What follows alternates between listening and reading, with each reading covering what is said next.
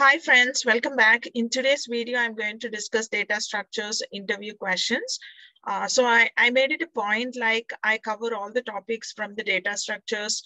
Uh, I covered the linear data structures like linked list, stacks, queues, and hash tables, and the nonlinear data structures like graphs and trees. And also I covered the topics of uh, sorting techniques and searching techniques. So without further uh, ado, let us get started. So what is a data structure? So this would be the basic question in an interview. So what is a data structure? So a data structure is basically a group of data elements that are put together under one name and which defines a particular way of storing and organizing data in a computer so that it can be used efficiently. In order to write efficient programs, we need to apply certain data management techniques. And these techniques are nothing but data structures. It is not a programming language to implement the data structures, we need programming languages like C, C++, Java, Python, etc. So data structures is like uh, the related data plus the allowed operations on that data. So which is nothing but the data structure. For example, uh, uh, the photos in the gallery, your, your phone gallery are stored with the help of data structures. So this is the definition of the data structure what are data structures primarily used for? The data structures are widely used in uh, almost every aspect of computer science, especially, so I just have put some applications over here. So they're used in uh, operating systems, they're used in compiler design, they're also used in artificial intelligence and graphics, uh, statistical analysis package, lexical analysis, numerical computation, and database handling. Uh, so in operating systems, uh, data structures are used for scheduling the algorithm, scheduling the processes. Um, they're used in the scheduling algorithms and uh, in compiler design, like data structures are used to maintain the symbol table and all that. And in database ha uh, handling, like in DBMS, data structures are used to, to model the data. So these are uh, some of the uh, areas where the data structures are applied. So what are the data structures used in database management system? Uh, so they're used to model the data. Uh, so to implement the network data model, uh, so the graph data structures are used and to implement the hierarchical data models, tree data structures are used and to implement relational database management system are used. So the relational database management system is uh, a table. Uh, so with the rows and columns in it. So these are called as the rows and these are called as the columns. So relational database management system is implemented by using an array. Uh, so let us move to the next question. So the next question is what are the applications of the data structures? Uh, to implement uh, the undo operation in the text editor. Uh, so we use the data structures uh, to, to store information about files and directories in the system. We use the data structures to store dynamically growing data, which is accessed very frequently based upon a key value pair. We use the data structure to implement that functionality in the web browser. So we have the forward and backward buttons in the browser, right? Uh, so that backward and forward buttons are implemented by using the linked list. And uh, these are some of the applications of the data structures. What is an abstract data type? So an abstract data type, which is also called as an ADT, is the way we look at the data structure, focusing on what it does and ignoring how it does its job. So let us separate it. Uh, so abstract, uh, let us separate these uh, things into two parts. The first one is abstract and the next one is the data type. So what is abstraction? Abstraction is hiding uh, certain details, implementation details from the end user. So when we hide, we only show the methods and how the user can use the methods. Uh, so for example, if a person is going to an ATM center, so in the ATM center, the person will be using the methods such as balance inquiry and the person will be using uh, withdraw amount and all that. So those are methods, but the person do not know how what happens as soon as he clicks on the withdraw and how it how it performs the job. It is not uh, uh, important for the user. He just need to know how to use the ATM machine. So that is called as an abstraction. And uh, here, uh, uh, abstract data types means that, for example, you take an example of a stack. So the user uh, just need to know how to, what operations that he can perform on a stack, like the push operation and the pop operation. So he just need to know how to use this push and how to use this pop and what is the functionality of push and pop. Like for pushing is like inserting data into the stack and pop is removing the data from the stack. That's it uh, he needn't know like uh, how it does the push push operation and how it does the pop operation. So such kind of things are called as an abstract data type. So the end user is not concerned about how the methods carry out the task, but they're concerned about the available methods and calling the methods for getting results. Uh, so I just gave you an example of a stack where the user should only know uh, that there are push and pop methods to operate on the data, but they should not know how push operation is carried out. So these are called as uh, abstract data types. What is meant by a good program? So we can say that a program consists of an algorithm plus the data structures. Uh, so what is a good program? So a program uh, is the set of instructions that we write to achieve a particular task. So the program should run correctly, meaning that it should produce a correct results. You intended to um, write a program to generate prime numbers, then the program should generate prime numbers only. It should not generate Fibonacci mm, series. Then it means that the program is not correct. So the program should run correctly, meaning that it should produce a correct results. What it was intended, um, it should produce that results only. And uh, the program should be easy to read and write. And you also can make modifications to the program easily and the program can be easily debugged. Uh, so these are the uh, qualities that a good program should possess what is meant by an efficient program. So let us look into this. Uh, so the primary goal of any program or software is to perform operations along with storing and retrieving information. And this storing and retrieving information should be done as fast as possible. So that uh, efficient means that you are able to retrieve and store the information um, in a less time and with the minimum space, uh, memory space. So that is called as efficiency. A program is said to be efficient when it executes in minimum time and with the minimum memory space. Uh, so to do that, what we have to do is to improve the efficiency of the program, you need to select an appropriate data structure over here. So the appropriate data structure need to be chosen so that you can improve the efficiency of the program. Uh, uh, for the problem, uh, is a th this choosing of the data structure is the crucial decision and that will have a major impact on the performance. If you are choosing the wrong data structure, uh, then there is chances that your the efficiency of the program will drop down. What are time and space complexities? Uh, so to measure the efficiency of a program or to measure the uh, algorithm's efficiency, you have two uh, parameters over here. The first parameter is the time parameter and the next one is the space parameter. So there are uh, uh, two measures to analyze an algorithm to determine the amount of resources such as time and space needed to execute the program. So what is time complexity? Time complexity of an algorithm is basically the running time of the program. Okay, so it is the time taken for the program to finish, to execute.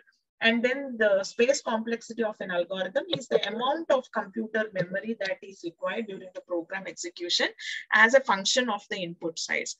Uh, space and time complexities were very prominent in um, uh, in 1970s and 60s and all that because uh, in those days like one GB was very costly and today's space complexity is not so prominent uh, but time complexity is important in today's uh, uh, generation. Uh, what is uh, worst case, average case, and the best case? Uh, so the worst case denotes behavior of algorithm with respect to the worst possible case of input instance. Um, knowing worst case assures us that the algorithm will never go beyond this uh, time limit. It is the upper bound on the running time of the algorithm. So the maximum time taken for the program to execute is considered to be the worst case. And when you say maximum, it means that you can be sure once you have the maximum time required uh, for the program to complete, uh, then you can be sure that uh, for any kind of input other than the worst uh, kind of input, you can be sure that it will be less than, less than this maximum time. Uh, so the average case is the estimate of an algorithm for the average input for any random input other than the worst uh, input. And next is the best case. Best case is the analysis of the algorithm in optimal conditions.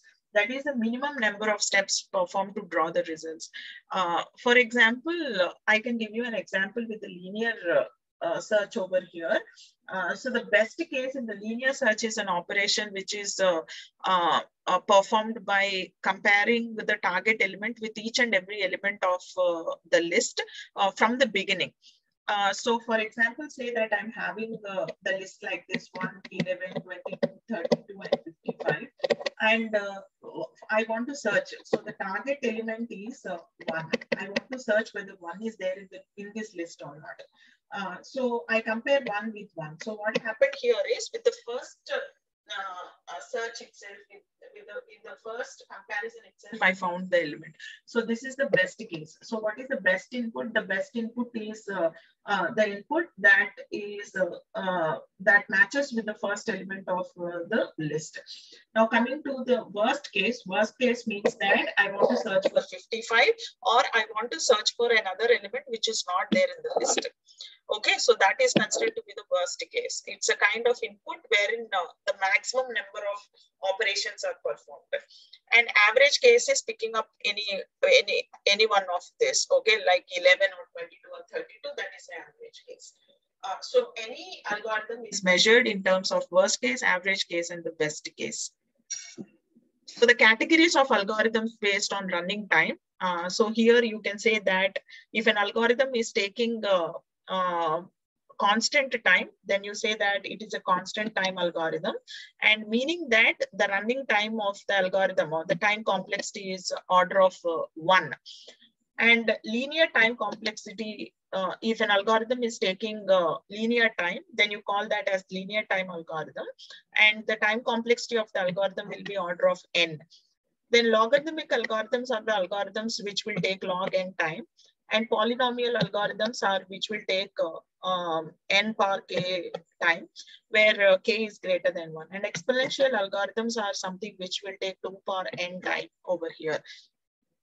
Uh, so the efficient ones uh, are like uh, uh, order of 1, order of n, and order of um, log n, all these are efficient and exponential time complexities and polynomial, they take more time to execute.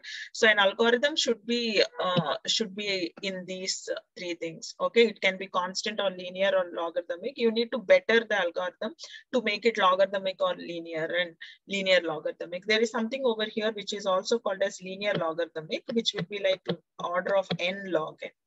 Okay, so your sorting algorithms like your heap sort and quick sort and all that have the time complexity of n log n. So which is called as linear logarithmic time complexity. So these are the categories of algorithms based on the running time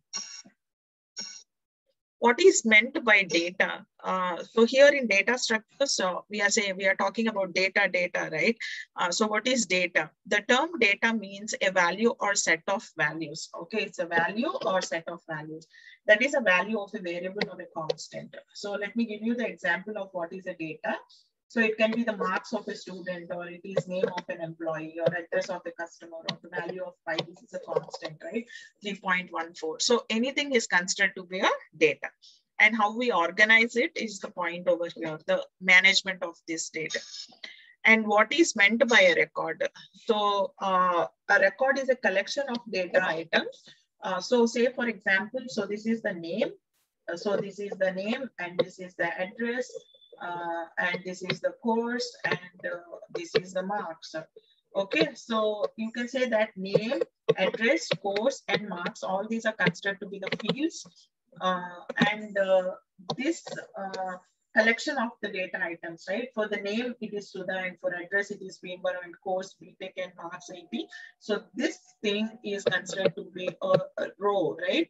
And the row is nothing but your record. We call this as a record, or in DBMS, we call this as a tuple. And uh, these group together form the record. So what is meant by a file? A file is collection of records. Okay, so for example, in the previous case, we saw this, right? So again, I'm having another student's uh, record. Uh, say, for example, I have XYZ and some name and BTech and something. And another student over here, so I can have another student, say and okay, some Vijayawada and some course and this thing. Okay, so the group of records together will form your file. The collection, a file is a collection of records. Um, example, say that there are 60 students in a class, then there will be 60 records of a student and all these related uh, records are stored in a file. Uh, so we say that it's an employee file or we say that it's a customer file.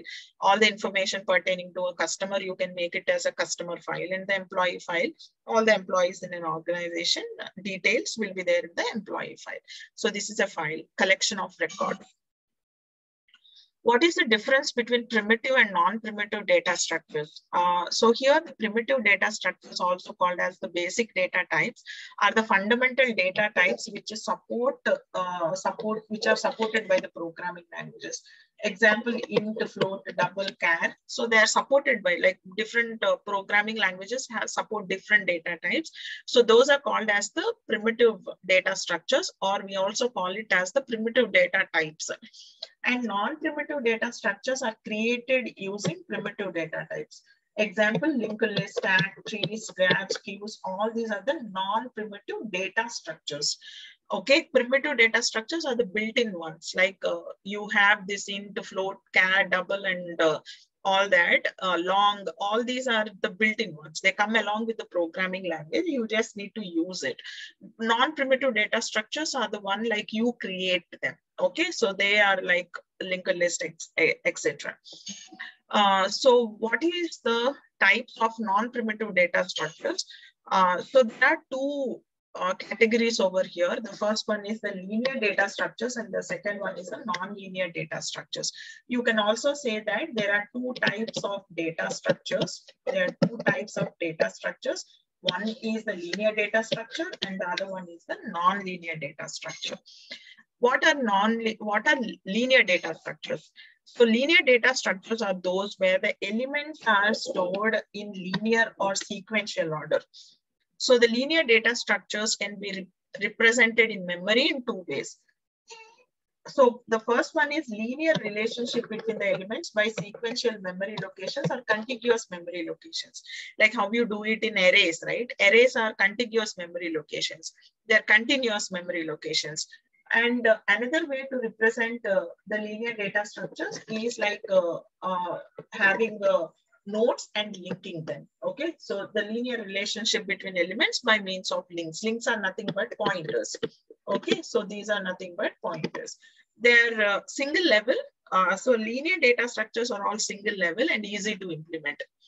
Uh, this single level means that, uh, uh, for example, you take uh, trees. Trees are multi-level. So you have different levels uh, in each and every level, you have different set of data uh, stored. But here in linear data structures, they are single level and they're easy to implement. Uh, so what is linear data structure? Are those where the elements are stored in linear or sequential order. So let us look into the examples of linear data structures. The examples of linear data structures are arrays, linked list, stack, queue, and hash tables. Uh, then what are nonlinear data structures? If the elements of the data structures are not stored in sequential order, then they are called as nonlinear data structures. The relationship of adjacency is not maintained over here uh, in the nonlinear data structures. And memory utilization is efficient in nonlinear data structures. They are generally multi-level and they're difficult to implement. So these uh, means that it is nonlinear data structure. When the sequential order is not maintained, then we say that they are nonlinear data structures.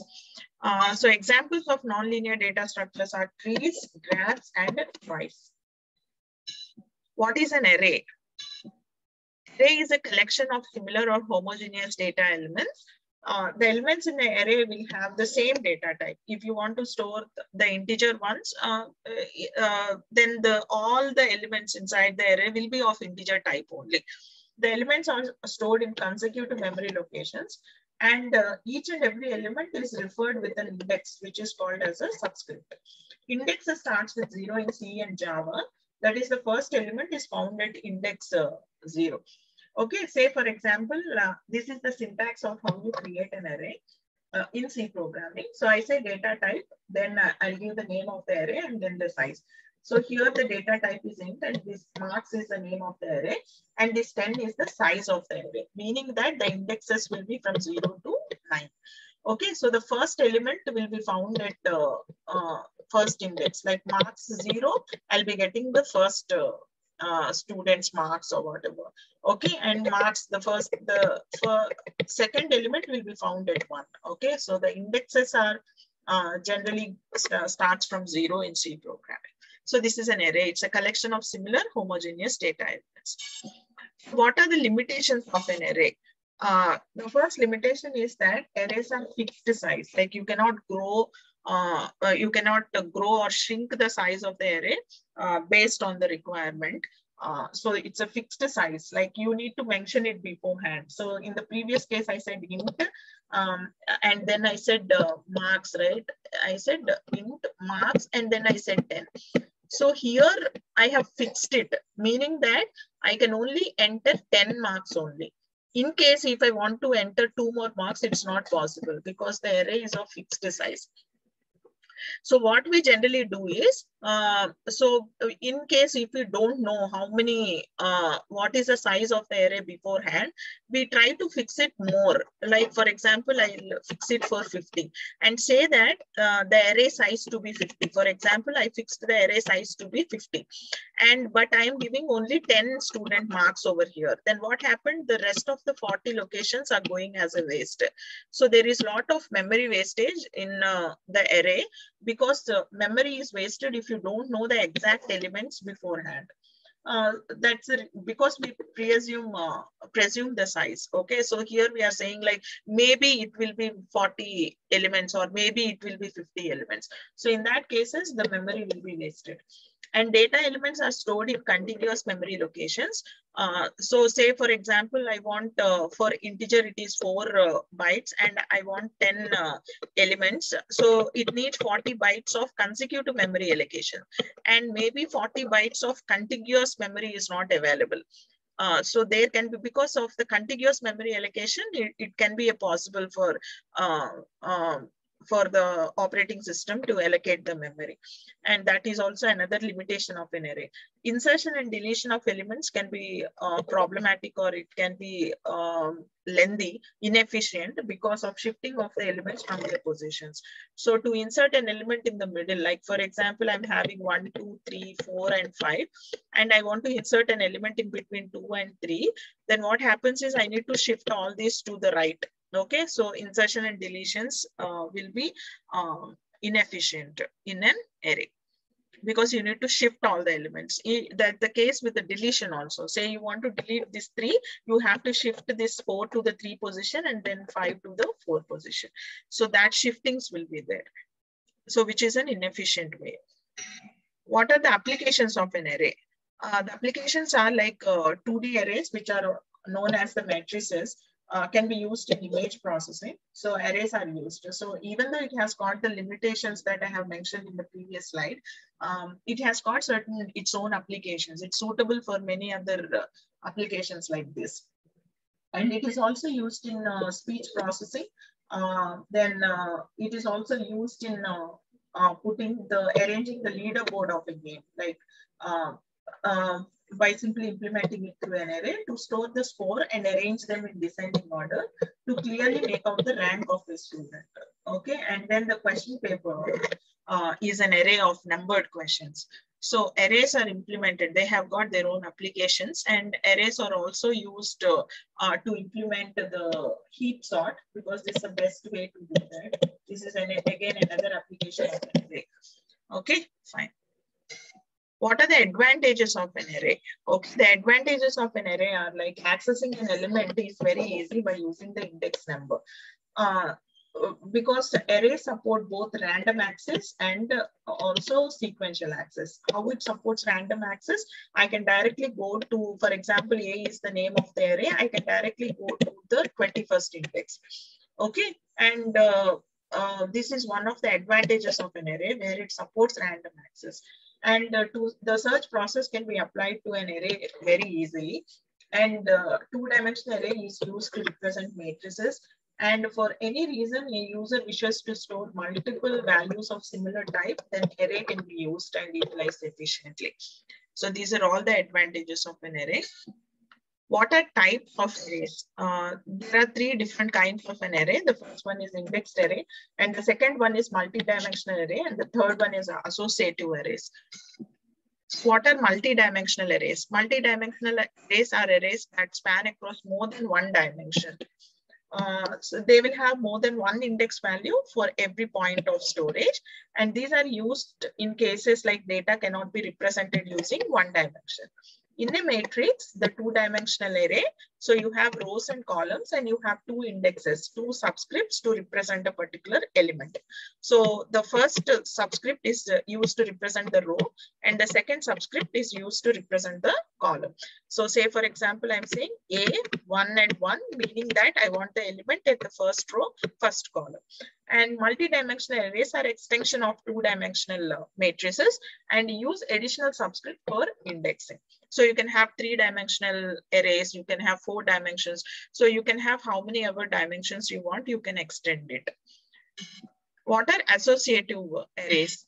Uh, so these are a collection of key value pairs where we can insert a value with a specific key and search for a value given its key. Uh, these are also called as maps, dictionaries, or associative arrays. Uh, so this is an example of an associative array where you can find that these are nothing but the keys and these are the values. So it is a key value pair, okay?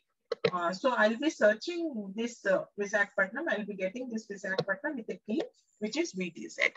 So these are associative arrays. What's the difference between static array and dynamic array?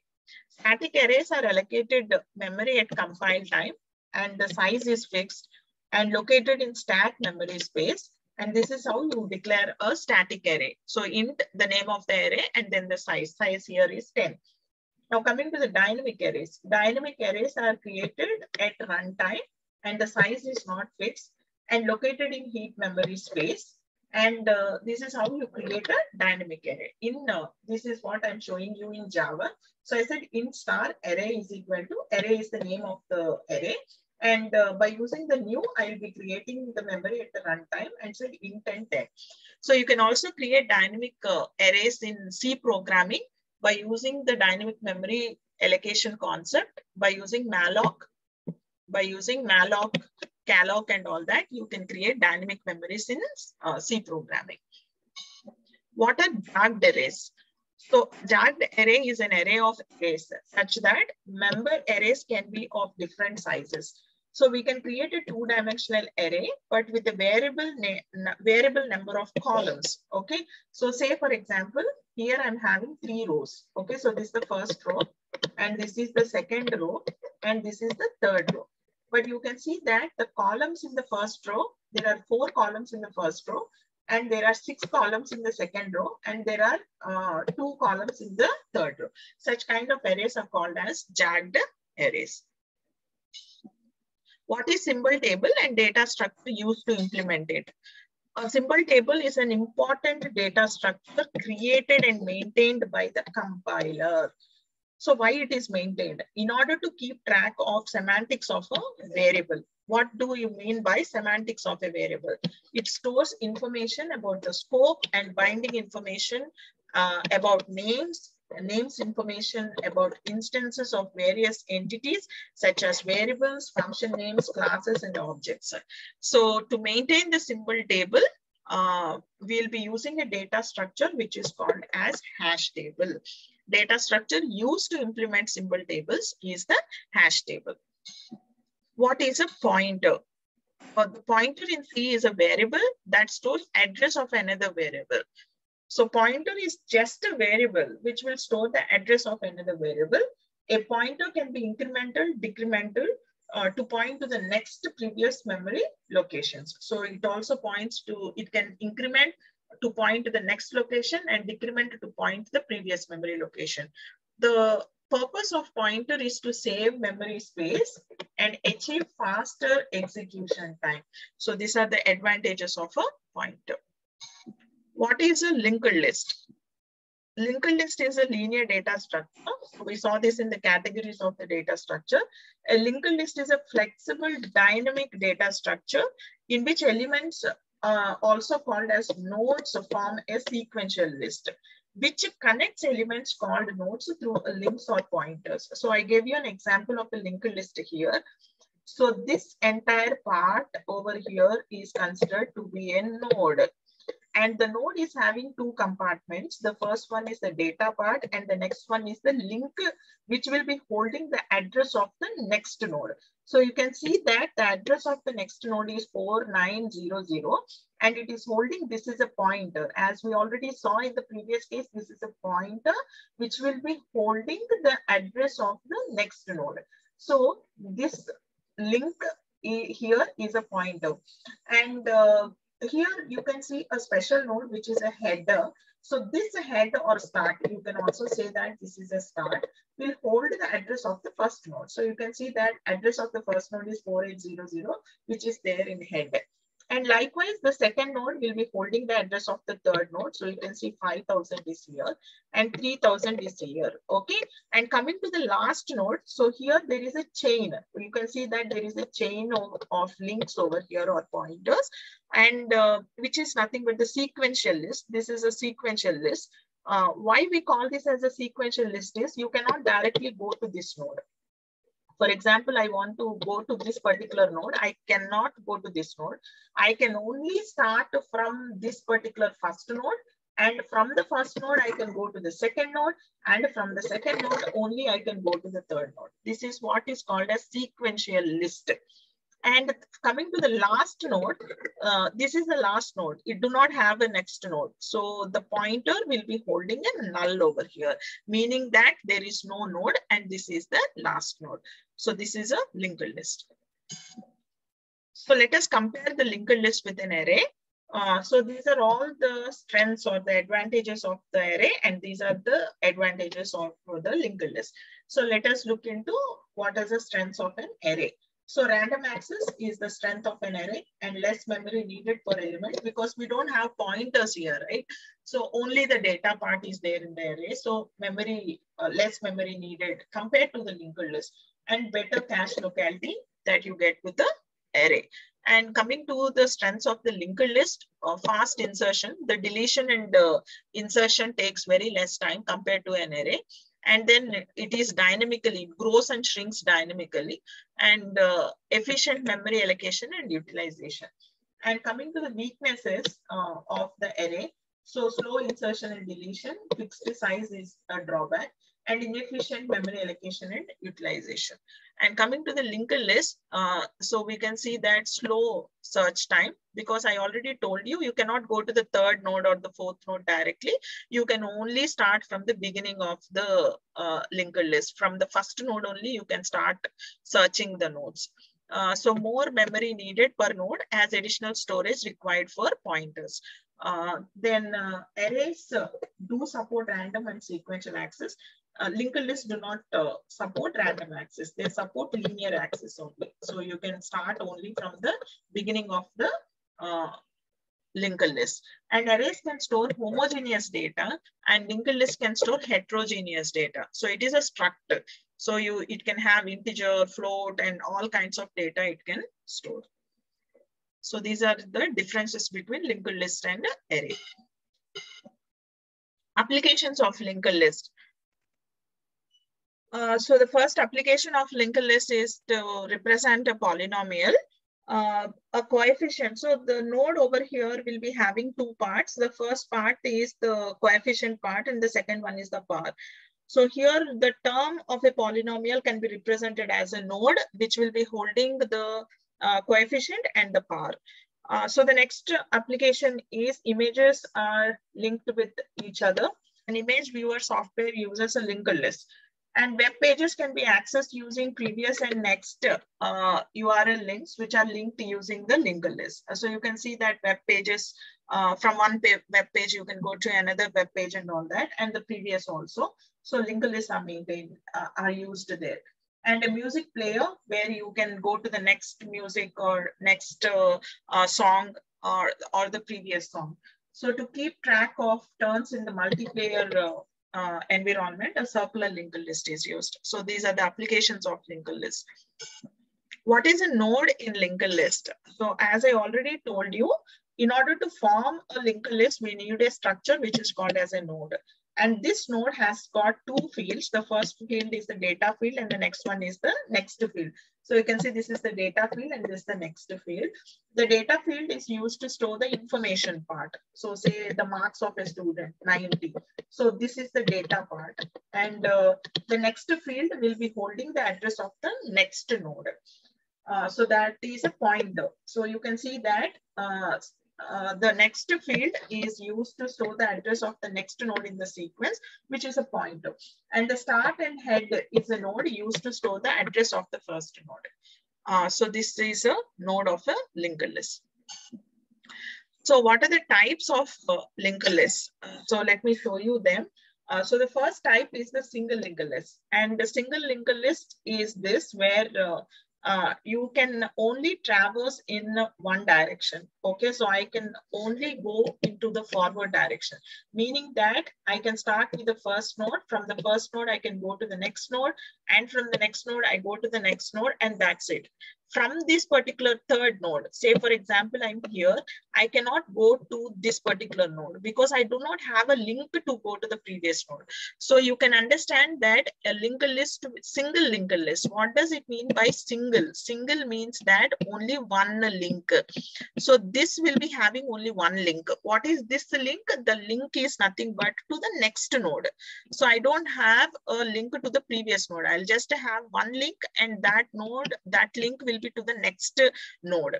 Now coming to the doubly linked list, doubly linked list will be having two links. Okay, so why we say that it is double, double means two, right? Double means two. Two means I'm having two links. Okay, so what are the two links over here? The first is to the previous node and the next one is to the next node.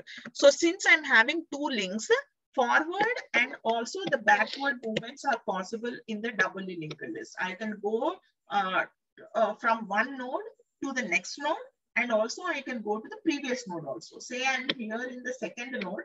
From the second node, I can go to the next node by using the next link over here and I can go to the previous node by using the previous link over here. So two-way traversal is possible in the double linked list, whereas only forward traversal is possible in the single linked list. Now coming to the circular linked list, it's a form of a single linked list but the only difference, so these two are connected. Okay, circular linked list and single linked list are connected. Wherein the only difference between single and circular linked list is that here you can see in a single linked list, the last node is having null in it, meaning that there is no next node and it has stopped over here. Now coming to the circular linked list, the last node will not have a null over here. It will have the address of the first node. So this last node over here is holding the address of the first node. What is the address of the first node? 100, right? So it is holding 100 over here. So meaning that from the last node, you can come back to the first node. In single linked list, you cannot do that. Once you are to the last node, that's it. It's over. You cannot come to the first node. But using the circular linked list, from the last node, you can come back to the first node. Because the last node will be holding the address of the first node. Next type is the doubly circular linked list. Okay, so here it is two combination of two linked lists. The first one is it is a doubly linked list as well as it has got the quality of the circular linked list. So this is a circular linked list. So doubly linked list wherein there are two links, you can see that there is a previous link and the next link. And also the last node is holding the address of the previous node, meaning that the address of the first node. Okay, and the first node is holding the address of the last node. So this is called as the doubly circular linked list. So how many types of linked lists are there? Four types of linked lists are there. The first one is the single linked list. Second one is double linked list. Third one is circular linked list. And the fourth variety is doubly circular linked list. Let us compare doubly linked list with single linked list. Now, single linked list that contains nodes which have a data field and next field which points to the next node in the line of the nodes. So here you're having in the doubly linked list, you'll be having the data field. Along with the data field, you're having next field and previous field. So the next field will point to the next node and the previous field will point to the previous node in the sequence. So this is uh, the definitions of the single linked list and double linked list. Allows traversal in one direction through the elements. It allows traversal in both the direction, forward and the backward direction. And single linked list requires less memory as because it's storing only one address. Now coming to the doubly linked list, it requires more memory compared to the single linked list because there are two links, two addresses. Complexity of insertion and deletion at known position is order of n and the complexity of insertion and deletion at known position is order of one. So in doubly linked list, it is order of one because you can move forward and backward. You can go to any of the node. So it takes constant time. Operations performed on linked list. What are the various operations that you can perform on the linked list? The first one is traversing a linked list, searching a value in a linked list, inserting the node in a linked list. So these are all the kinds of insertions that you can do. Insert a node at the beginning, at the end, after a given node, before a given node. And delete operation, deleting a node from the linked list and these are all the variants of the delete, like delete the first node, last node, delete node after a given node, and delete node before a given node. So these are all the operations performed on a linked list. Data structures that is used to implement LRU cache. So to implement an LRU cache, we use two data structures. The first one is a hash map and a doubly linked list. A doubly linked list helps in maintaining the eviction order and a hash map helps with the order of one lookups of cache keys. C code to create a node in a single linked list. So this is how you create a node in a single linked list. So you say struct and then node. So this is a name given to this struct type. So which is node. And inside it, you're having like I'm having an int data. So this is the data field and I'm having a pointer which will hold the address of another node. So it should be of type struct node type. So this is how I create, uh, I uh, define a node and then I'm having a pointer which is start, star start. Uh, this is a pointer, start is a pointer of type struct node which is having null in it because initially it is null in it because there is no elements added into it. And uh, how to create a node. So this is how you create a node by using the malloc function. Uh, so I say ptr is equal to struct node star and then I say malloc then size of struct node. So this will take one argument which is size of uh, uh, struct node so it is taking this size and malloc gives a void pointer. So the return type of malloc is a void pointer. So you have to typecast it. So this void pointer should be of type struct node star. So that's why we are typecasting this pointer to be this node type. And then um, malloc gives the address, right? So this address is returned to this PTR. That's why PTR is a pointer of struct node type. The malloc gives the address. This is how you create a node in a single linked list. How do you get loop in a single linked list?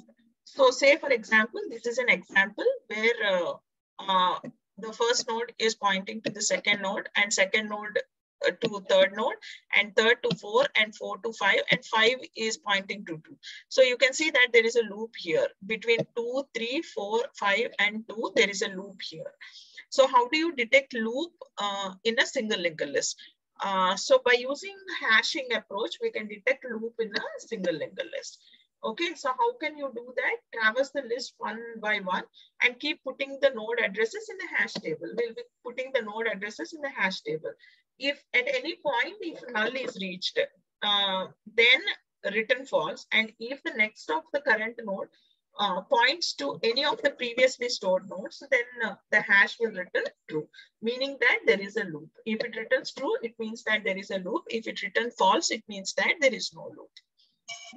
What is dynamic memory allocation? Dynamic memory allocation can be defined as a procedure in which the size of a data structure, like array, for example, is changed during the runtime.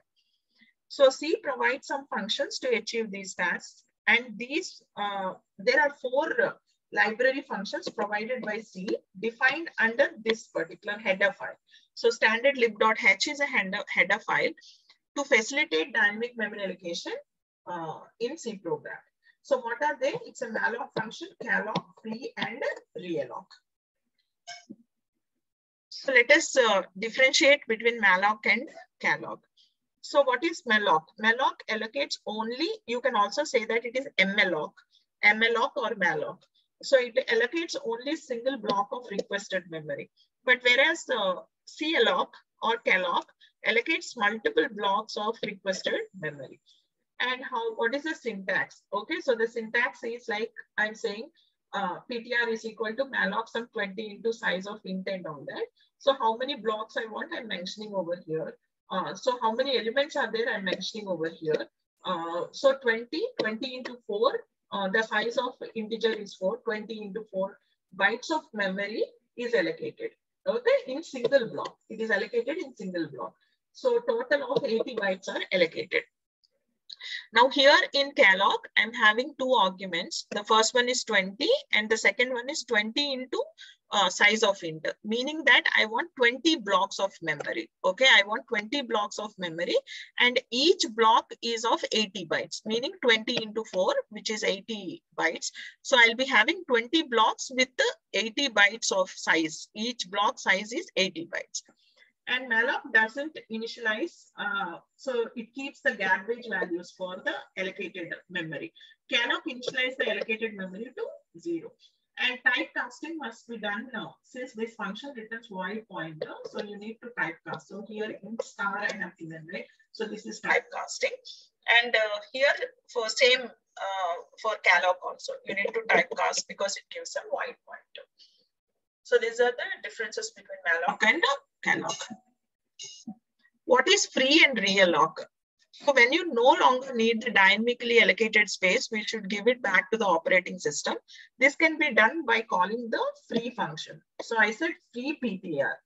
So the size of an allocated block of memory can be increased and decreased by using the realloc function. So the realloc function will take two arguments in it. The first argument is the pointer and the next argument is the size, new size, whatever is the new size. And then it returns, uh, it allocates, increases the size and gives the address back to PTR. So free is to free the memory and realloc is to increase the size of the, um, so increase the size. Difference between void and null. null.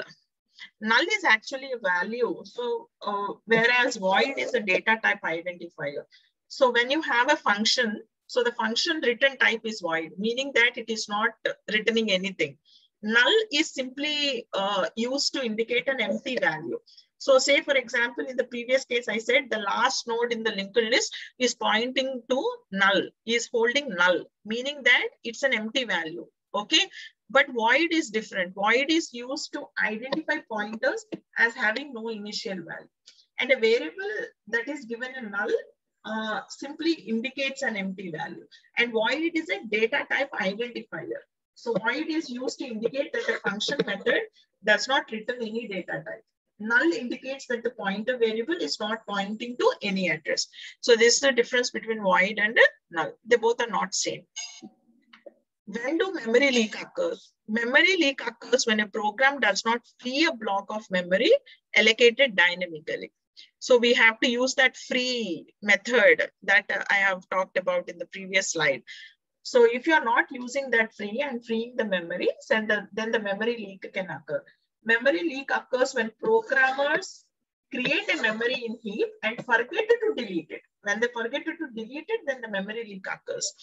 If too many memory leaks occurs, they can uh, uh, usurp all memory and bring everything to halt and or slow the processing considerably. What happens is if too many memory leaks occur, then uh, the uh, efficiency will drop. What is a stack? A stack is a linear data structure which uses the principle that is uh, elements in a stack are added or removed only from one end which is called as a top. The stack is LIFO which is last in first out uh, data structure as the last element uh, is the first to come out. So you can see here that I already have one on the stack and I want to put two. So put is put, uh, two is put on top of uh, one. And also coming uh, three is put on top of two. Okay, so this is how we are putting and this is considered to be top over here. Okay, so this is top. So you can see that top is varying. So top is always pointing to the recently inserted element. So top will be here and after inserting five, now top will come over here. So it's a variable which will be holding the, uh, uh, I mean, recently inserted element. And uh, the, these are all the push operations. Now pop operation will actually remove the element at the top. So to pop out the recently, the last inserted element will be the first to come out. So you can see that after taking five only, I can take four. And after taking four only, I can take three. And after taking three only, I can take two. Okay, so this is last in first out principle. And stack follows this principle. Difference between array and stack. A stack can store data of different data types, where array can store similar data types. Size of the stack keeps on changing. Okay, we can change the size of a stack uh, as we insert and delete the elements, but the size of array is fixed. So these are the two differences between array and stack. Applications of stack. Stacks are used for reversing a list. They're used for parenthesis checker. And uh, they're used to conversion, converting an infix, infix expression into postfix expression, and evaluation of the postfix expression, conversion of an infix expression into postfix expression, and uh, uh, then evaluation of a prefix expression. Uh, so this is conversion of an infix to the prefix expression. Okay, right. And then recursion, they're used in recursion and it is used in backtracking uh, problems and it is also used in function call. So these are all the applications of stack. Operations performed on a stack. The operations are the first one is push operation, pop operation, peek operation, is empty and is full. So what is push? Inserting an element into stack, pop, removing an element from the stack, peek, uh, finding out what is the recently inserted element, that is the element at the top of the stack. Is empty checks whether the stack is empty or not, is full checks whether the stack is full or not. And all these operations will take order of one time complexity constant time complexity. Order of one means that it is constant time complexity ways of implementing a stack. There are two different ways of implementing a stack. The first one is using an array. The other one is you can implement it using a linked list. What is overflow condition? When a stack is completely full and we try to insert more elements into the stack, then this condition is called as overflow condition. And uh, you cannot, when the stack is in overflow condition, you cannot further add elements into the stack unless until an element is deleted. And what is the condition? Uh, overflow condition, it is top is equal to max size minus one. So maximum size of the array minus one because the index starts with zero. Uh, so that's the reason why we are saying max size minus one. Top is the index of the newly inserted element. If stack is empty, top will be minus one. And if stack is full, top will be max size minus one. What is a queue?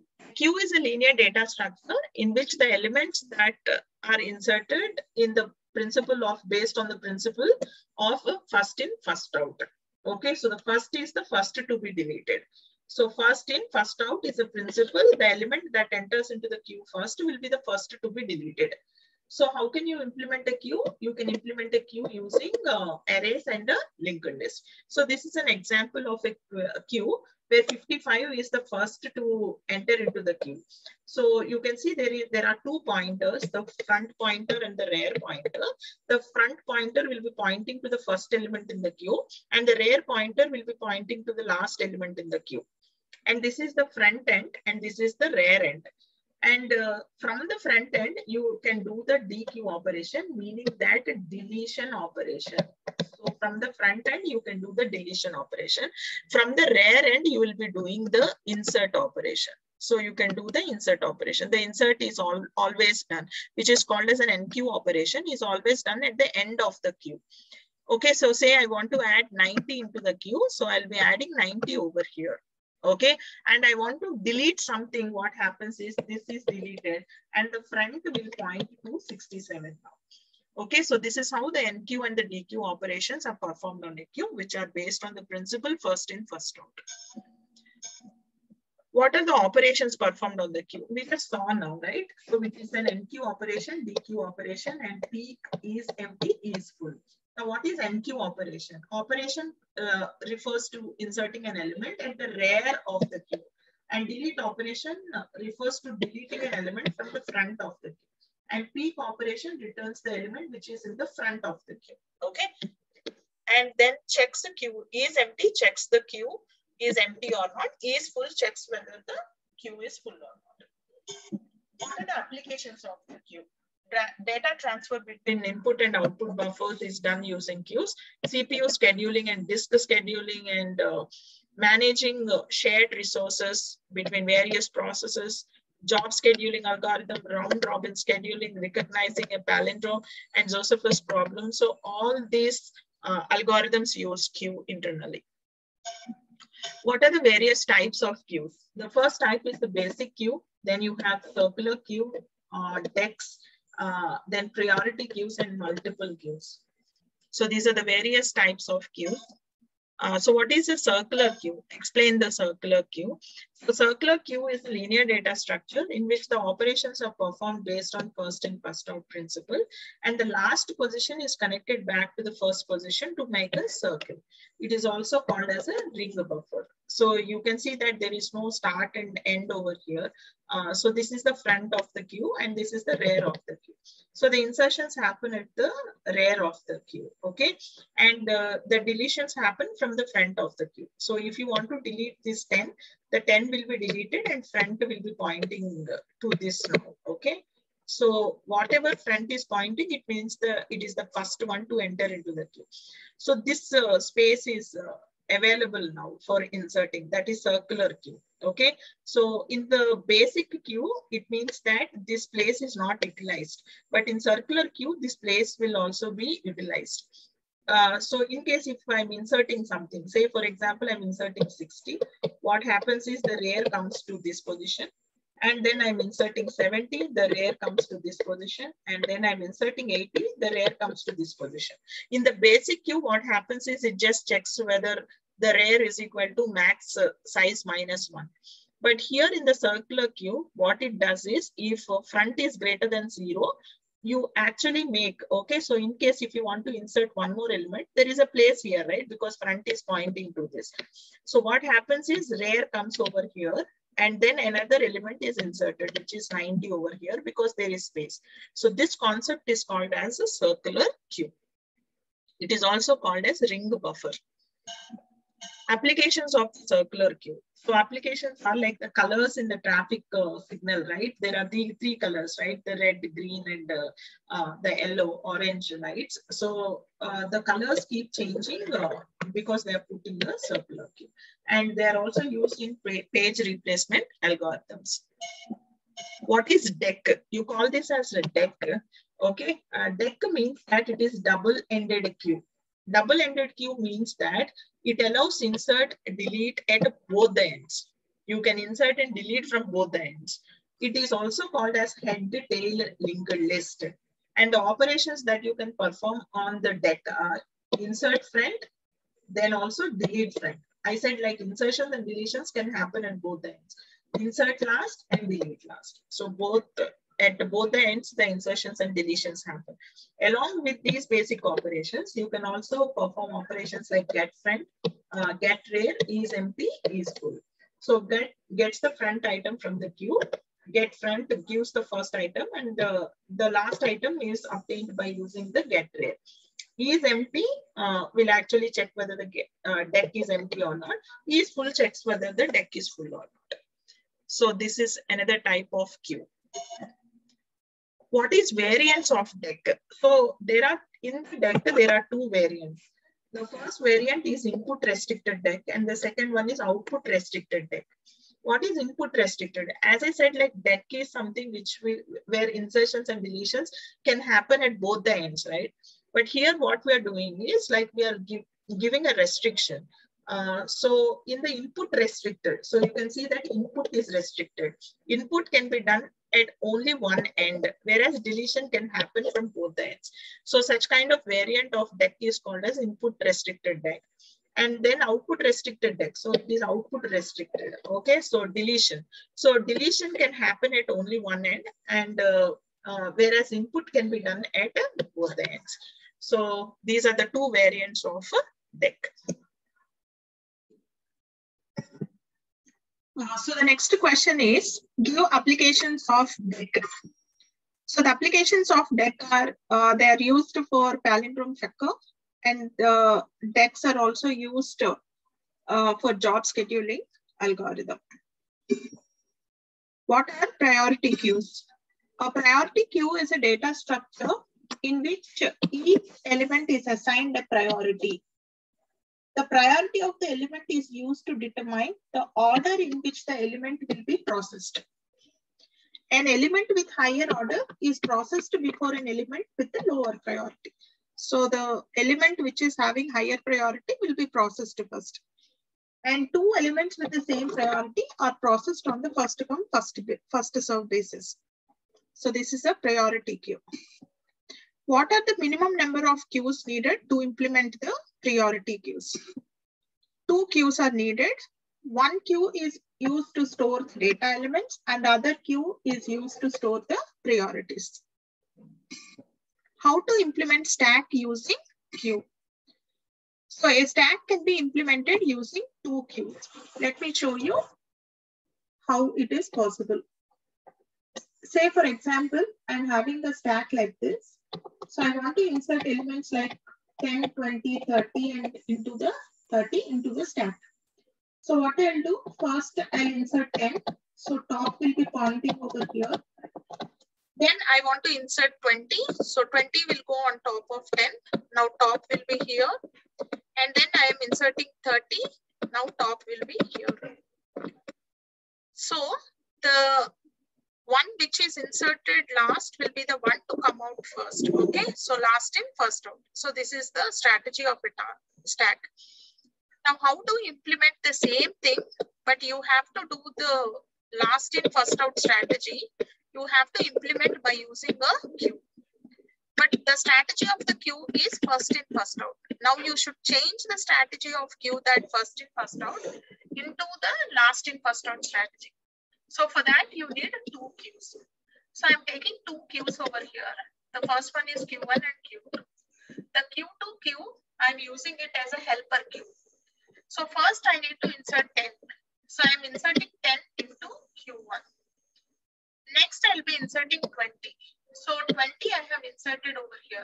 Now see that 20 should be the one, if I want to perform a dequeue operation, 20 should be the one which should come out according to the strategy of uh, uh, LIFO, last in, first out. So the last one is 20. 20 should be the one which, which should come out first. So for that, what we need to do is, we need to bring this 20, which is the last inserted element to the front of the queue. To do that, I am, I am taking this 10 and I'll be putting in this queue, Q2. So I am dequeuing this 10 put it in Q2. And from Q2, I will dequeue it and I'll enqueue it into Q1. Now you can see that 20 has come to the front of the queue. So you can delete it. So this is how a stack is implemented using two queues. Now say for example, I want to insert another element. So the other element is 30. Now this should be in the front of the queue. To do that, what I'll do, I will dequeue these both things. Okay, so I'll put it over here. So which is 10 and 20. Now what I'll do, I'll bring this 20 and 10 over here. Okay, so uh, 30, which is uh, recently added element, last added element will become the front of the queue. So this is how you implement stack using queues. What is searching operation? So one of the uh, operations that you perform on the data structures and one of the very, very important operation is the search operation. And search operation means that you want to find whether a particular element is present in the data structure or not. So if the data is found, then we'll return the position of the data and we'll say that search is successful. Else, we need to say that we need to display appropriate message that the element is not found and all that. And we say that search is unsuccessful. So this is how we perform the search operation. What are the various uh, types of search operations? And algorithms are linear search algorithm, binary search algorithm, and Fibonacci search algorithm. Let us see how linear search works. Say, for example, this is the list I'm having. So I have nine elements over here, and I want to perform a linear search.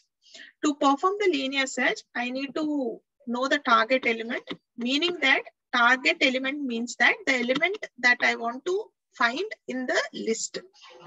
So say for example, the target element is 25. So I want to search whether 25 is there in the list or not.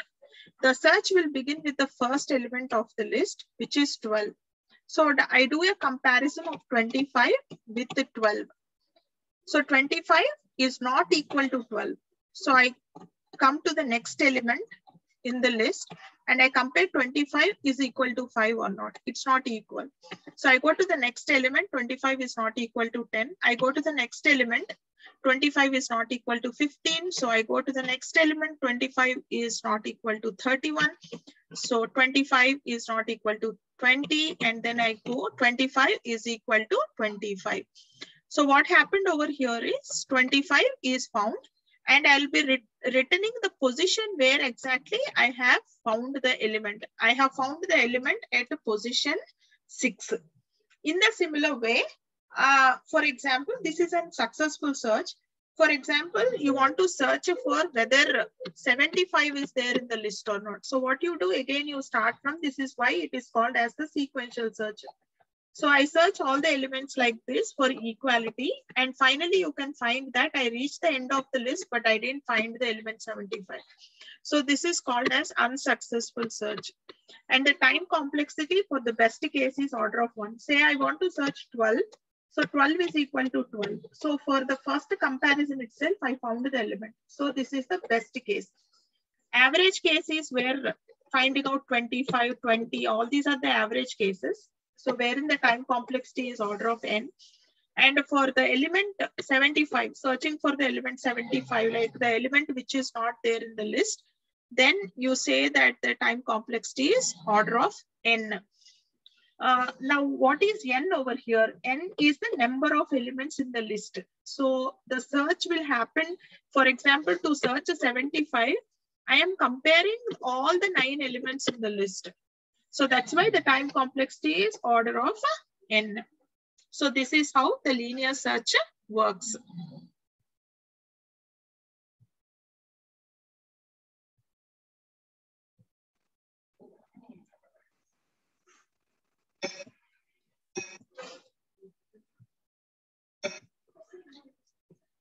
How binary search works? So binary search uh, so it works on sorted or ordered list of items. So this is a very, very important point. So to apply the binary search algorithm on a list, the prerequisite is that the list should be in ordered uh, way. Uh, it can be in ascending or descending order, but it should be in the ordered format. Like in the linear search, the list can be in ordered or in unordered fashion. It works on both because there is no point because it starts comparing each and every element from the first uh, so even if it is ordered or it's not ordered, it is not a matter in the linear search, but generally we apply it on an unordered list. Now coming to the binary search, binary search is applied on a sorted list.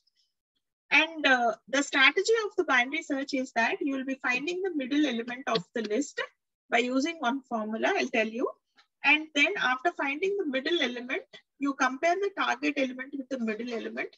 If the target element is less than the middle element, you will search in before a sublist of the middle element. If the target element is greater than the middle element, you will search in the after sublist of the middle uh, mid element. So the time complexity of the binary search is order of log n. So wherein you can compare the linear search time complexity is order of n, but binary search is better than linear search. So let us see, look into how binary search works. So here I have certain elements. I have nine elements over here. And uh, so the strategy of the binary search is to find out the mid element. So the middle element is obtained from the low, lower index. The lower index is zero. So this is the lower index. And the highest index is eight. So this is eight over here. And the formula is like low plus high by two. So zero plus eight by two, wherein I got the four. Four is nothing but the index. Okay, so at index four, uh, whatever element I have, that is the mid, mid element. So 38 is the mid element. So 4 is nothing but the index over here. So 38 is a mid. So say I want to search 44, whether it is there in the list or not. So the first thing I'll do is I'll compare 44 with 38. 44 is greater than 38. Now what this mid has done is, this mid has divided the list into two halves. So this is the sublist one so you can say that this is the sublist one and this is the sublist two. So as you can observe that uh, all the elements are in ordered format in ascending order and all the elements before uh, this mid element like sublist one are less than 38. So all the elements here are less than 38 and all the elements in the sublist 2 are greater than 38. Okay. So now since 44 is greater than 38, I will search only in this particular sublist 2. So here I have reduced half of the comparisons. So I don't need to look into the sublist 1. So half of the comparisons are reduced over here. So that's why it is efficient than the linear search. Now I have 44.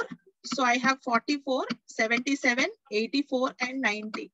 So this is the new sublist. Now recursively, I will apply the same strategy on this new list. So this is uh, at index 5, 6, 7, and 8. Now calculate the mid by saying 5 plus 8 by 2. So which is 13 by 2. So I'll be getting 6, right? So this particular uh, this is index 6 and 77 is the mid now, is the new mid now. Okay, so now compare 44 with 77. 44 is less than 77. So what I'll do, I will be looking into this sublist. Okay, so I don't require to look into this sublist. So again, I have reduced some uh, comparisons over here. So now coming over here, so again, I need to recursively apply the same strategy. So now I just have one element in the list. So I'll compare 44 with 44. So 44 is equal to 44. I'll say I found the element and uh, at the position 5. So I'll be returning the position of the element. So this is how the binary search works. So here, uh, one point I would like to highlight is to come to this particular, I said like new, uh, new uh, sublist is this, right? So 44, 77, 84 and 90. So what we'll do is if uh, uh, the target element is uh, uh, greater than the mid. Okay, so say for example, the mid is great, lesser than the target element. Then what you'll do is you'll set the low to mid plus one. Okay, now, for example, say that your mid is greater than the target element, then you will set the high. Okay, so high will be equal to mid minus one. So the, this is the algorithm that you will follow to set the low and the high values. Can we apply binary search on linked list? No, we cannot apply binary search algorithm on the linked list because as you have observed in the previous case, like just observe that we are we are finding out the middle element and you're comparing the middle element with the target element. So meaning that there is random access over here. So there is random access and uh, uh, arrays support random access. So that's why uh, binary search works best on the arrays. It doesn't work on the linked list because random access is not possible in the linked list. To go to the middle element, again, you have to do a sequential access only. Okay, so that's why you cannot apply binary search algorithm on a linked list because linked list supports a sequential access. And binary search is usually fast, efficient for arrays. Okay, because I mean, it supports random access. And uh, uh, uh, because accessing the middle index uh, between two given indexes is easy and fast. Okay. What is sorting? Sorting means arranging the elements of an array so that they are placed in some relevant order, which may be either ascending or descending order. Uh, why do we need sorting? Is because to uh, for the search operation. Okay, so to find an element easily uh, in a list, uh, prior to the search operation, if we put the elements, sort the elements and perform the search operation, then uh, you'll find the element, the, the you can apply the binary search and which is an efficient algorithm and then you can search the element in a better way. So sorting means arranging the elements. So we'll do sorting prior to search operation and it can be in ascending or descending order. So sorting represents any order and the order can be in numerical order or it can be lexical order or it can be user defined order. What are the various types of sorting algorithms? So the sortings are divided into two types. The first one is internal sorting algorithms and external sorting algorithms. These are the two types of sorting algorithms. Now, what is internal sorting? Internal sorting means that the lists are small and they fit entirely in the main memory. And if the input data fits entirely in the main memory, then internal sorting techniques are applied. Okay, so internal sorting techniques are applied because all the data is fitting in the RAM. Now, if the data, input data do not fit entirely in the main memory, then external sorting techniques are applied. So what are the various internal sorting techniques? Bubble sort, insertion sort, quick uh, heap, radix, selection. All these are examples of internal sorting techniques. Example of external sorting technique is merge sort. Merge sort is applied on a data which is very large, meaning that the entire data will not be fit in the main memory at once. So you have to bring chunks and chunks into the main memory, sort it, and then put it back uh, onto the disk and then do that process because the entire data will not fit in the RAM. What is meant by in-place sorting? In-place sorting means that uh, you don't require extra storage.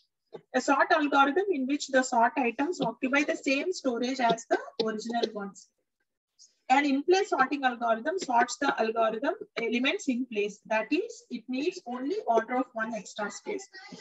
Now, let me tell you, like for example, I have taken an array 10 and this array 10 is having 10 elements in it. Like say, for example, 5, 6, 8, uh, 9, 10, 21. Like this, I'm having uh, uh, 10 elements in an array 8. Now, after apply, when you apply the sorting techniques, you don't require, you don't take an extra array which is B and then do some sorting techniques like bring the elements into B and then use it like for uh, temporary, uh, as a temporary storage and all that. So you don't take an extra storage you will be sorting in the same array, like you will be swapping the positions. And uh, finally, after swapping the positions, you will bring the same array in a sorted order. Such kind of uh, uh, sorting is considered to be in-place sorting technique. When you bring some extra storage for the sorting purpose, then you call that as out-of-place sorting algorithm. Okay, so that is in-place sorting and uh, out-place sorting. What is meant by stable sorting? Now, a sorting algorithm is said to be stable if two objects with equal keys appear in the same order in the sorting output as they appear in the input array to be sorted. So you can, I'll give you an example of uh, stable sorting here. So you can see there are two eights over here. after applying the sort technique, the relative order of 8 and 8 did not change. So the 8 is uh, the blue color 8 is here and the uh, red color 8 is here. So the order did not change in the output. So this is the input and this is the output. And in the middle, like you applied some sorting technique. Okay, so some sorting algorithm you have applied. And uh, after uh, applying the sorting algorithm, the relative order of the same uh, keys, okay, so didn't change. They are in the same order. Such kind of sorting techniques are called as stable sorting. Now, for example, so I have the same elements 8 and 8 over here. But after applying the sorting technique, what happened is uh, the 8, so this is the input and this is the output. Uh, this is in the middle, like we applied some sorting technique. And after the sorting technique is applied, you can see that this 8, the relative order has changed. This red 8 have come before the 8, uh, uh, blue color 8. So you can see that this blue, the order has changed. Okay, so such kind of sorting techniques are called as unstable sorting techniques. So let us see examples of stable and unstable sorting techniques. Now, uh, so the bubble sort uh, is an in-place sorting technique and it is also a stable sort, meaning that the relative order of the equal keys will not change. Uh, so selection sort is in place, but it is not stable. Insertion sort is in place, but uh, again, it is stable sort. Quick sort is in place, but it is not stable. Heap sort is in place, not stable merge sort is not in place. And also because I said like uh, uh, it works on the large uh, data, right? And uh, so you need some extra storage to perform the sorting technique. And also this it, it is a stable sort. Okay, so these are the various sorting algorithms, whether they are in place or stable, you can understand it with this tabular. With this table,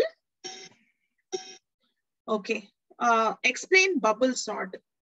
So bubble sort is a sorting technique, which is the simplest sorting technique. And uh, bubble sort, uh, uh, why it got the name bubble is that because it uh, the largest element, okay, bubbles onto the top. So here I have seven, six, four, and three. So the strategy is like this, okay? So since there are four elements, I will be requiring three passes. Okay, so I'll be needing three passes. Uh, now, these two adjacent elements are compared, 7 and 6 are compared. Since 7 is greater than 6, what we do is we'll swap it.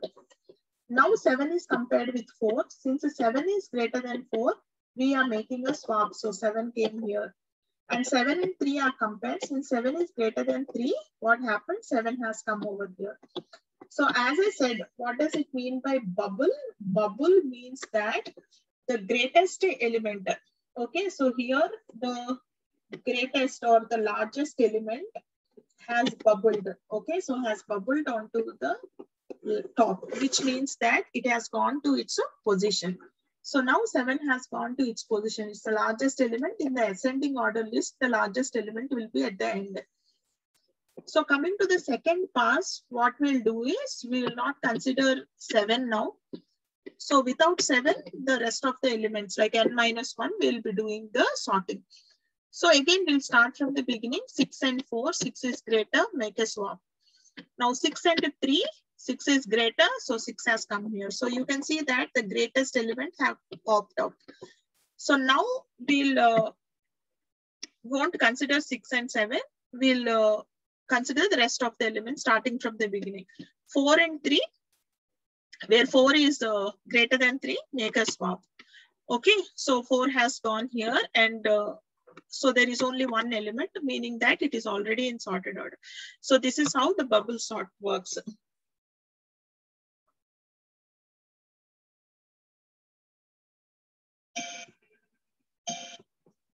So I explain the selection sorter. So selection sorting is a technique which is inferior to uh, insertion sort.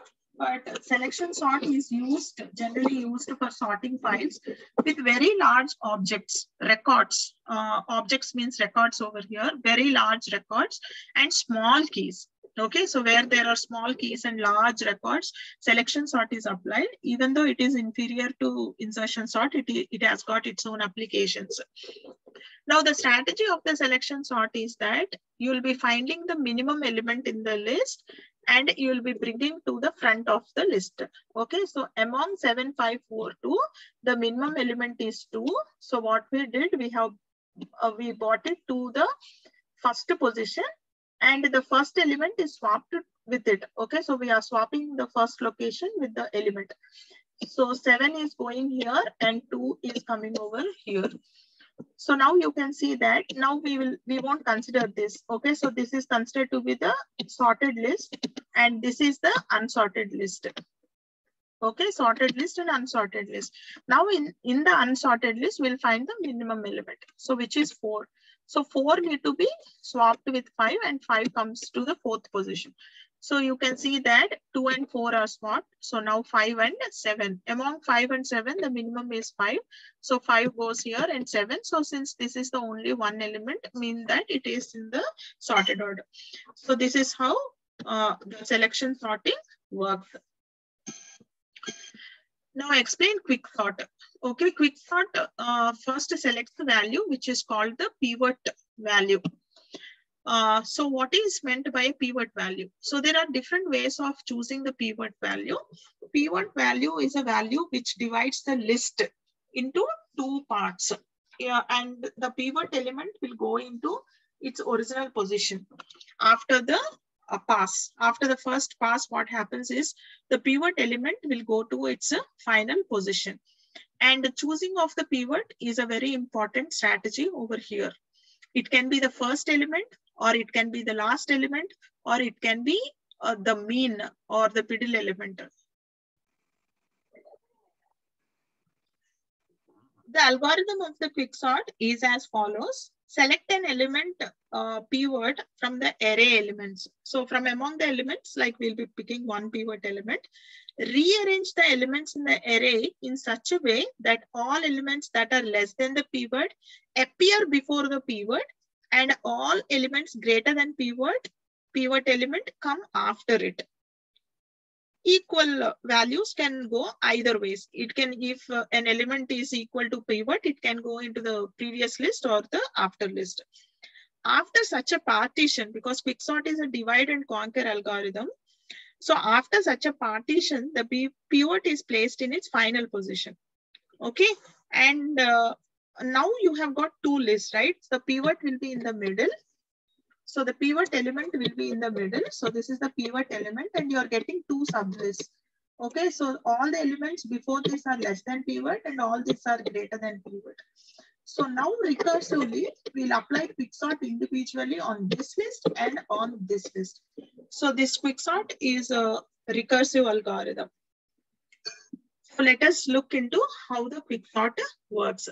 So in this particular example, so 54 is the pivot. Now we are taking two uh, pointers over here. So this is the left mark and this is the right mark. So what you have to do is we will be checking that the left mark will always point to uh, will will always point to the lesser than pivot element and it will stop when it finds an element which is greater than pivot and the right mark will point to, will keep on uh, moving uh, till the elements are greater than pivot. It will stop when it finds an element which is uh, less than the pivot. Okay, right. Uh, so now 26. Okay, so 26 is less than pivot. So what happened? We are incrementing the pointer left mark and left mark has come here. So as I told you, left mark will stop when it finds an element which is greater than pivot. So it has stopped here. So left mark stopped because 93 is greater than 54. Now this right mark will stop when it finds an element which is less than the pivot. So 20 is less than the pivot. So right mark also stopped over here. So right, right mark stopped as well as the left mark stopped. Now what we have to do is we have to make a swap of these two elements. Okay, so 20 will come here and 93 will go here. So you can see 20 has come here and 93 has gone over here. And now we'll start moving the left mark because left mark have to stop when it finds an element which is greater than the pivot. Now 20 is less than pivot. Uh, so it will move to 17 now. 17 is less than pivot. So what it will do, it will go to the next position, 77. So 77 is greater than uh, pivot. So it will stop. Now the left mark will be here. So you can see that the left mark has stopped. Now coming to the right mark, so 93 is greater than pivot. So it will be moving to this position. So 55 is greater than pivot. So it has moved to 44. So now this is the right mark. So you can see that right and left mark have stopped. So as they stop, you have to make a swap. Okay, so swap these two elements. Okay, so 44 have come here and 77 have come here. Now again, apply the same strategy. So 31 uh, you can see that 31 is less than uh, 54. So I'll be moving left mark onto the right. So left mark has come here and 77 is uh, greater than 54. So left mark stopped. And you can see that right, uh, right mark uh, 44, right? So 77 have come here. So it will be moving on to the left. Okay, so since it find right mark will stop when it finds less than pivot element. So right mark has stopped here. But you can see that they have crossed over. Right mark and left over, they have crossed over. Okay, so when they cross over, what you have to do is you have to swap the pivot element with the element which is pointing to the, uh, which is pointed by the right marker. So now pivot will come here and this will go there. Okay, so 31 will go there. Now, if you can see that I'm having two lists. The first list is 31, uh, then 26, uh, then I have 20, 17, 44, and then I have 54, then 77, 55, and 93. And pivot is here. In the sorted list, Okay, so what is the final sorted list? The final sorted list is 17, 20, 26, 31, 44, 54, 55, 77, and 93, right? So this is 0, 1, 2, 3, 4, 5, 6, 7, and 8. So what is the position of 54? The position of 54 is at index 5. Now take this index 0, 1, 2, 3, 4, 5, 6, 7, 8.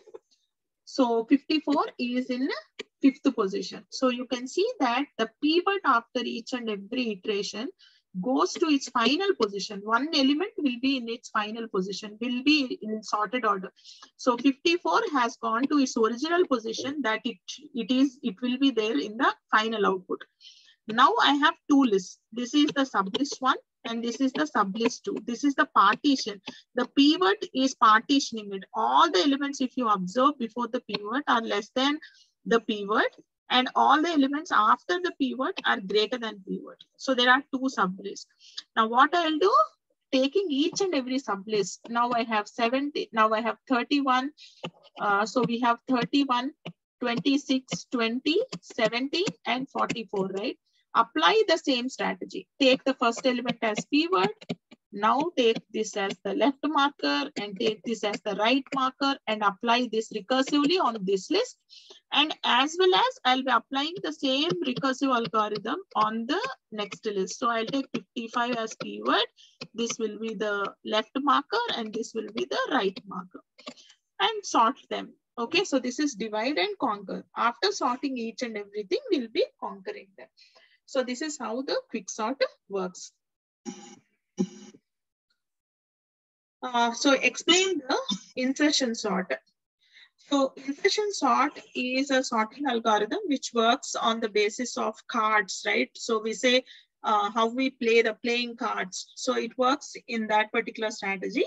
It is a simple sorting algorithm uh, in which the sorted array is built uh, one element at a time. So you'll be building it one element at a time. So it is a familiar uh, sorting technique uh, as we usually use it for ordering a deck of cards uh, while playing bridge game. Uh, so what we'll do here is it is also called as online sorting uh, algorithm because we are not bothered about what are the elements at the end. We start with the beginning of the uh, list. Okay, so at the first we'll take four itself and we'll say we'll divide it into two halves and we say this is the sorted list and we'll say that all the entire list after this is the unsorted list. Next, what we'll do is now we'll uh, increment this one. Okay, so we'll bring it here, we'll divide it. And now compare these two elements, four and three, and sort it. Okay, so four, three comes here and four comes here. Now what I'll do is I'll take the next element and then sort it. Then it becomes two, three, and four. Next, next I take 10. What I'll do, I'll sort it, two, three, four, and 10. Okay. Next I'll take 12 and then I'll sort it. Next I'll take one and then I have sorted it. it. It has come. So you can see that how many ever elements I add after it also, it will sort it. Okay, so this is how the insertion sort works. So there will be two partitions here, the sorted and the unsorted list, and we'll try to build one element at a time. We'll add one element at a time to the sorted list and sort the list. What are the time complexities of the sorting algorithms? So you can see that first we'll see the linear search, uh, order of one, n and n, and the space is order of one. Binary search is its order of one, best case, and wherein the middle element is uh, the target element. So one comparison, you get the element. So it is order of one. Uh, log n, log n, average and the worst, and then the space is order of one. And bubble sort, uh, best time complexity is order of n and average is n square. Uh, worst case is also n square, okay, order of n square. And this is order of one space. And selection sort is order of n square and n square and order of n square. And the space uh, worst uh, space complexity is order of one. Insertion sort is order of n, linear, and uh, this is n square, which is quadratic, uh, and this is n square quadratic time complexity and order of one space. And merge sort, uh, in all the three cases, you can see it is order of n log n, linear logarithmic time complexity, and the space complexity is order of n. For the quick sort, the best and average is order of n log n, but take a very uh, good look at this particular uh, worst case time complexity. The worst case time complexity of quicksort is order of n square. Okay, so that's one of the drawbacks of the quicksort. And uh, uh, so the worst case, uh, the worst space complexity is order of log n. So the heap sort is stable. You can see that in all the cases it is n log n and the space is order of n. And uh, the bucket sort it is n plus k. k represents the digits in the number. n represents the number of elements. k represents the number of digits in the number. And uh, the worst is order of n square and uh, the space is order of n. Okay, so this is again the radix sort, order of nk, nk and nk and n plus k is the space complexity. And this is for the Tim sort, uh, order of n, n log n and n log n and uh, space is order of n. The shell sort, it is order of n and uh, this is n log n power 2 shell sort and this is uh, uh, for the average and worst case, the time complexity is same and then the space is constant for the shell sort. So these are the various uh, best average burst time complexities of various searches and sorting techniques advantages of uh, insertion sort. Uh, so the insertion sort is easy to implement and uh, efficient to use on small data sets of data. And it can be efficiently implemented on data sets uh, that are substantially sorted, okay? And uh, it performs better than algorithms like uh, selection and bubble sort. And it is simpler than shell sort and it is twice as fast than the bubble sort and 40% faster than selection sort. It requires less memory space and it is said to be online. Okay, online sort. What are the pros and cons of quick sort? Uh, the pros are like it is faster than bubble selection and insert and uh, it can sort small, medium, and large data sets. Like you can see insertion, selection, bubble, all those are for the smaller data sets, but uh, uh, Quicksort suits even the large data set. And uh, these are the advantages. And coming to the limitations, it is complex and it is massively recursive. And the worst case time complexity is order of n square. Advantages of external sorting. External sorting is used to update a master file from a transaction file. Uh, for example, updating the employee file based on the new hires or any modifications you want to do into the employee file, you can do it using external sorting technique. It is also used in database applications for, for, uh, uh, for performing operations like projection and join. And projection means that uh, you want to uh, show certain uh, subset of fields. And join means that joining two files on a common field uh, to create a new file whose fields are union of uh, the two files which are used for join. And external sorting is used to remove duplicate records in a file. So these are all the advantages of external sorting. What are recursive algorithms? The process in which a function calls itself directly or indirectly is called as recursion. Um, a function calling itself, or it's a loop, uh, a function call in a loop is also called as a recurs recursion. And the corresponding function is called as a recursive function. Okay, so the function which is calling itself, it's called as a recursive function. And using recursive algorithms, uh, certain problems can be solved quite easily. And uh, the various recursive algorithms are Tower of Hanoi.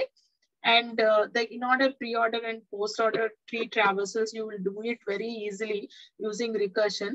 And uh, depth first traversal of a graph, you will be using, uh, wherein you will be using recursion. Various approaches of algorithms. What are the various approaches of an algorithm? So I discussed the three approaches over here, divide and conquer and dynamic programming and greedy approach. So what is divide and conquer? So divide and conquer involves dividing the entire problem into sub-problems and then solving each of them independently.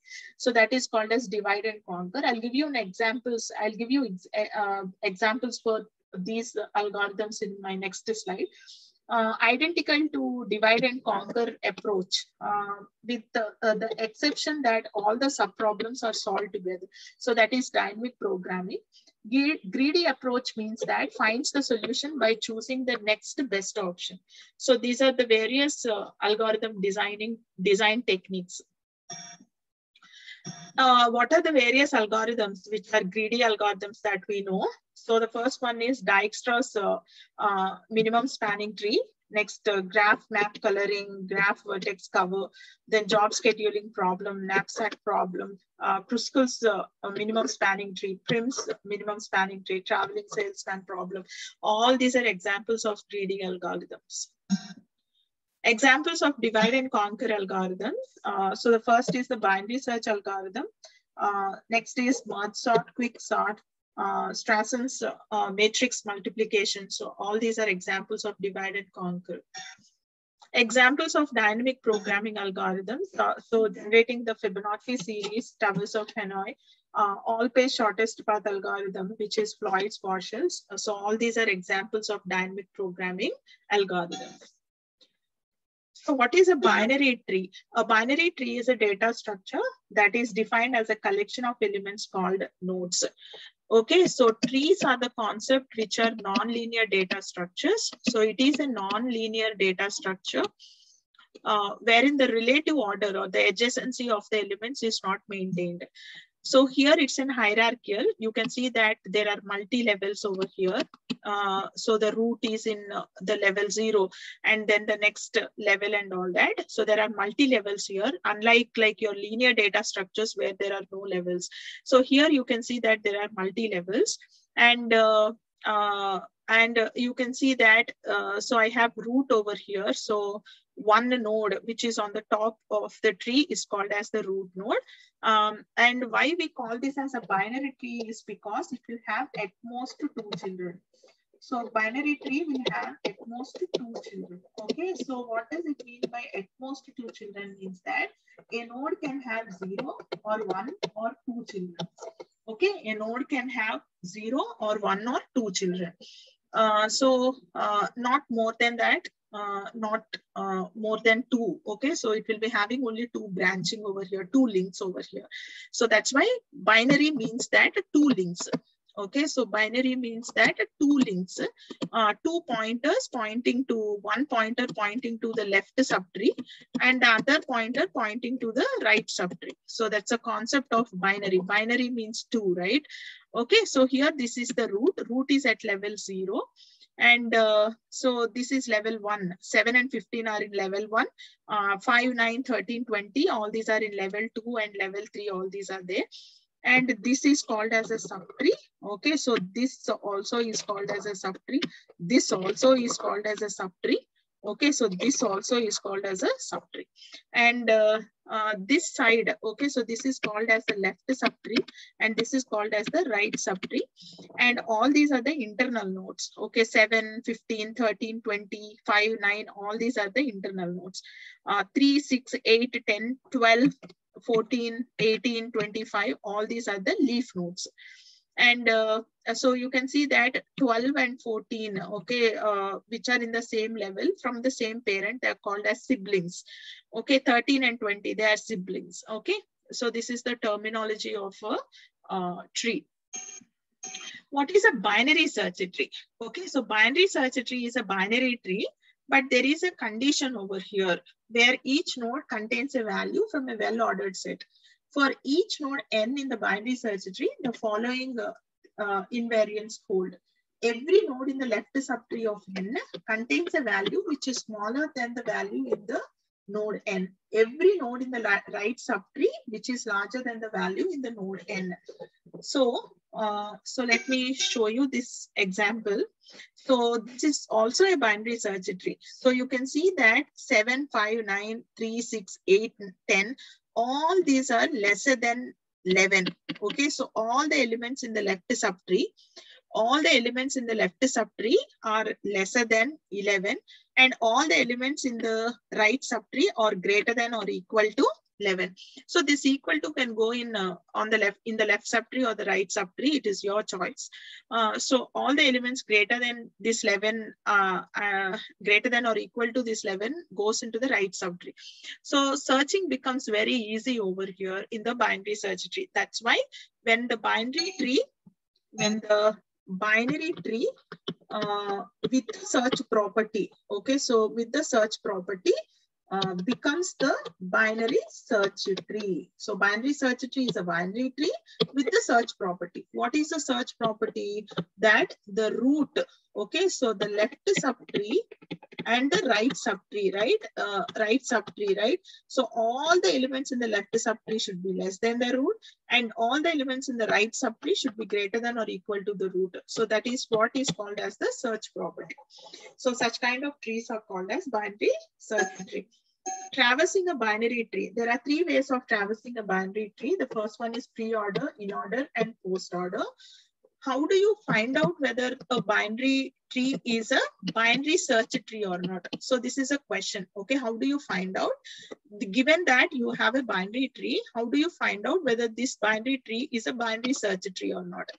So just to find out the in-order, so if the in-order gives a sorted list, then it is called as a binary search tree. If the traverse the binary tree, if the in-order traversal of the binary tree gives you a sorted list, then it is called as a binary search tree. What is pre-order traversal? Pre-order traversal means that pre means before. So first I will traverse the root then I'll go to the left node and then I'll go to the right node. So that is called as uh, pre-order traversal. Pre-order traversal. Traversal means that visiting the nodes. The order in which I visit the nodes is visit the root, traverse the left, left subtree, and then traverse the right subtree and individually apply it on every node recursively. Then in order, in the in order, so I'll have the left subtree I'll traverse the left subtree, then root, and then the right. Okay, so it gives the sorted order. For example, uh, I have five over here and three here and seven here. When I do the uh, in order traversal, so I go to the left subtree, right? So three is visited and then five is visited and seven. So you can see that I'm getting a sorted list. So when a sorted list is obtained, it means that it is a binary search tree. Okay, so this is a binary tree, uh, but is this binary tree a binary search tree or not? So for that, we are applying this uh, thing. And next is post-order traversal. In the post-order traversal, left subtree is traversed, then right subtree, and then you will be traversing the root. Okay, so this is called as post-traversal, uh, post-order traversal. So these are the three traversals that you will be applying on the binary tree. Okay, so let me give you an example. Uh, so here, uh, uh, the this is a binary tree and the pre-order. Okay, so pre-order is where you are traversing the root. So first A is taken. Then after going here, this has become like a subtree, right? So this is again a subtree. Apply the same strategy over here. So B is the root. So put B. Then left, okay, which is D. And then what you did, so you have traversed the root, then the left subtree, now come on to the right subtree. Then this independently will become a tree for you. So uh, here, this is the root in this particular uh, subtree. So uh, C is printed, then go on to the left side. This again will become independently a tree. So E and G will become an independently a tree. So recursively apply this strategy wherein E is the root. So E comes here and G uh, is uh, uh, the right uh, subtree because there is no left, left tree, you're coming onto the right. And then again, uh, left uh, root and then the left now coming to the right. So again F is the root. So H is the left tree and I is the right subtree. So this is the pre-order traversal of this particular example. Okay, and now let us look into the post-order traversal. So coming to the post-order traversal,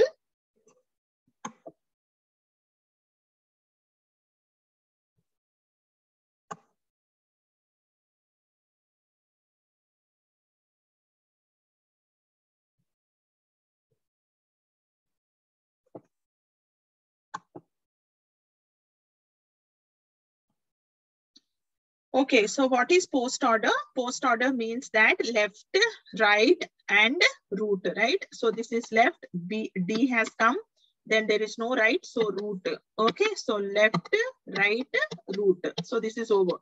Now this is considered to be left. So you go on to the right. This is root, right? And this is right. Okay, go on to the right side. Now after going on to the right side, so this has become the root and this is the left and this is the right. So now go on to the left side. So after going on to the left side, so this independently, now again, this has become the root. Uh, left is not there, so this is the right. So what I'll do, G and E is printed. Left, root, uh, left, right, and root. So this is over. So the left side is over. Now come on to the right side. Okay, so come on to the right side. So wherein we are saying uh, so H, I, and F. H, I, and F. So this is left, right. Now print the root, which is C. So this left is over, this right is over, and now you have to print the root, which is A. this is the post order traversal. Now let us look into the in order traversal.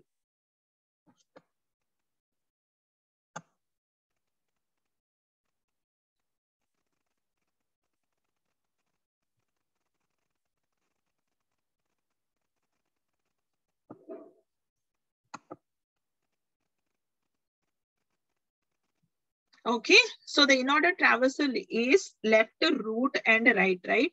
So this is left root. Okay, so this is over.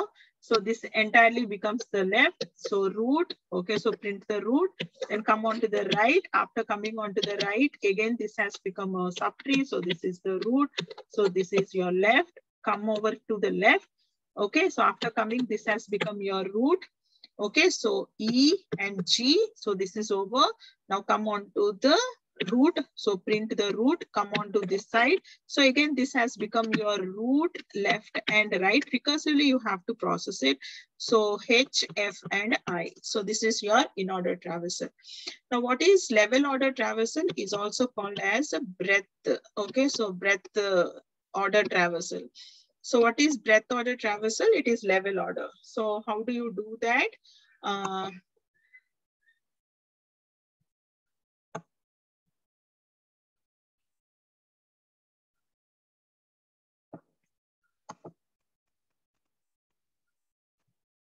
Okay, so level order is like this. Okay. Right. Okay, so A, B, C, D, E, F, and G, H, I. So this is your level order, which is also called as breadth order traversal. So what's the height of a node in a tree? What is the height? Okay, so the total number of edges that lies on the longest path from any leaf node to a particular node is called as the height of the node. So height of the tree is the height of the root node. So you can see that all the leaf nodes are at the height is zero. Now, what is, so the height of H is zero, K is zero, so the height is zero and this is zero, zero. This is also zero. This is also zero. Now, what is the height of G? The height of G is one, meaning that there is one path, right? One line over here, one connection. So it is one. So what is the height of C? The height of C is this side, there are two lines and uh, this side there is one. So the maximum you take, okay? So the height of uh, C is two. And now what is the height of B? The height of B is, so there is one over here. So there is one over here and there is two over here and two over here. So the maximum is two. So the height of B is two. Height of E is one. Okay, one, one. So maximum is one. So one. What is height of A? The height of A is one, two, three. One, two, and three. The height of A is three. Okay, so this is how you find out the height of a node in the tree. This is important uh, when you want to uh, create a balanced uh, trees applications of the trees. Okay, so the trees are used in file system directories. Uh, then they are also used to create arithmetic uh, trees, arithmetic expression handling. They are used in 3D video game to determine what object needs to be rendered and uh, uh used in almost every high bandwidth routers uh, for storing uh, router table and used in compression algorithms such as those used by the .jpg uh, JPEG and MP3 files formats and hierarchical data modeling and B trees are used to store uh, tree structures on the disks. So these are all the applications of the tree. What are balancing trees? Uh, so balancing binary tree also refers to a height balancing uh, binary tree is defined as a binary tree in which height of the left subtree and height of the right subtree uh, of any node differs by not more than one. Let, let me explain you what is height balancing uh, tree. So say for example, I'm having a binary tree like this. Uh, so I'm saying 10 uh, 9, 8, and 7. So I can have a binary uh, search tree like this. Okay, so this is a binary search tree. Um, and this can be uh, uh this is a binary tree, which is a uh, not balanced tree, but you can see that uh, it is skewed onto uh, the left. Okay, so it is considered to be a left skewed binary search tree where it is uh, inclined onto the left side. Okay, so here the point is the deep the tree is. Okay, so the tree is deep, so the search time also increases. Search time will increase. Okay, so it is needed that you balance these binary search trees. Binary search trees need a balancing factor. Uh, so what is this balancing factor? The balancing factor means that height of uh, left subtree minus height of right subtree. Okay, so height of left subtree minus height of, okay, height of uh, right subtree. Uh, it should not be more than one. Okay, so it should be one or minus one or zero or one. Okay, it should be only within this. Okay, so the value should be minus one, zero or one. Uh, so if it is uh, going beyond this, uh, if it is more than this, what we'll do is we'll apply certain rotation strategies and uh, we'll apply some rotations and bring it to the balancing state. Okay, so balance means that. So binary search tree plus balancing factor results in a height balanced binary trees. And examples of those are AVL trees, red black trees, splay trees. All these are height balanced binary search trees. Okay. Uh, what are multi-way search trees? A multi-way tree is a tree that can have more than two children. So binary means that it is having two links, two pointers, pointing to the one pointing to the left subtree and the other pointing to the right subtree. But here you can have more links. Such type of trees are called as multi-way trees. Multi-way tree of order m is one uh, in which a tree can have m children. Okay, and uh, uh, each node has m children and m minus one keys. For example, uh, so I'm having a okay uh, say that i'm having uh, uh, three elements over here. So this is k1 k2 and k3 okay and this is the link uh, so i'm having four links. So since it is having four links meaning that m children okay meaning that four children. Okay four children are there. So this tree is called as order four a binary a tree with order four and uh, which will be having three elements inside it Okay, so m minus one keys. So I have order four. So wherein I'll be having three key fields over here.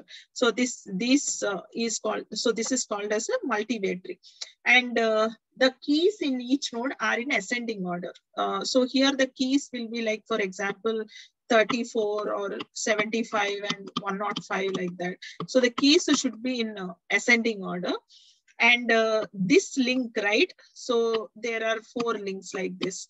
Uh, so all this link will lead to the elements which are less than 34 and this link will lead to elements which are greater than or equal to 34 and less than 75 and this link will lead to uh, greater than or equal to 75 and less than 105 and this link will lead to elements which are greater than or equal to 105 uh, so that's how uh, this point is mentioned.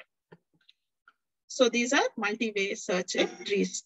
Examples of the multi-way search trees are B trees and B plus trees.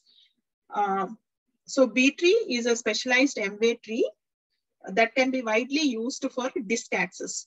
Okay, and uh, uh, in the B tree, search keys and data stored in internal or the leaf nodes. They are stored in both, okay, either internal nodes or in the leaf nodes. Uh, search search is not that easy compared to the B plus trees and no redundant search keys are present and deletion is difficult in B trees.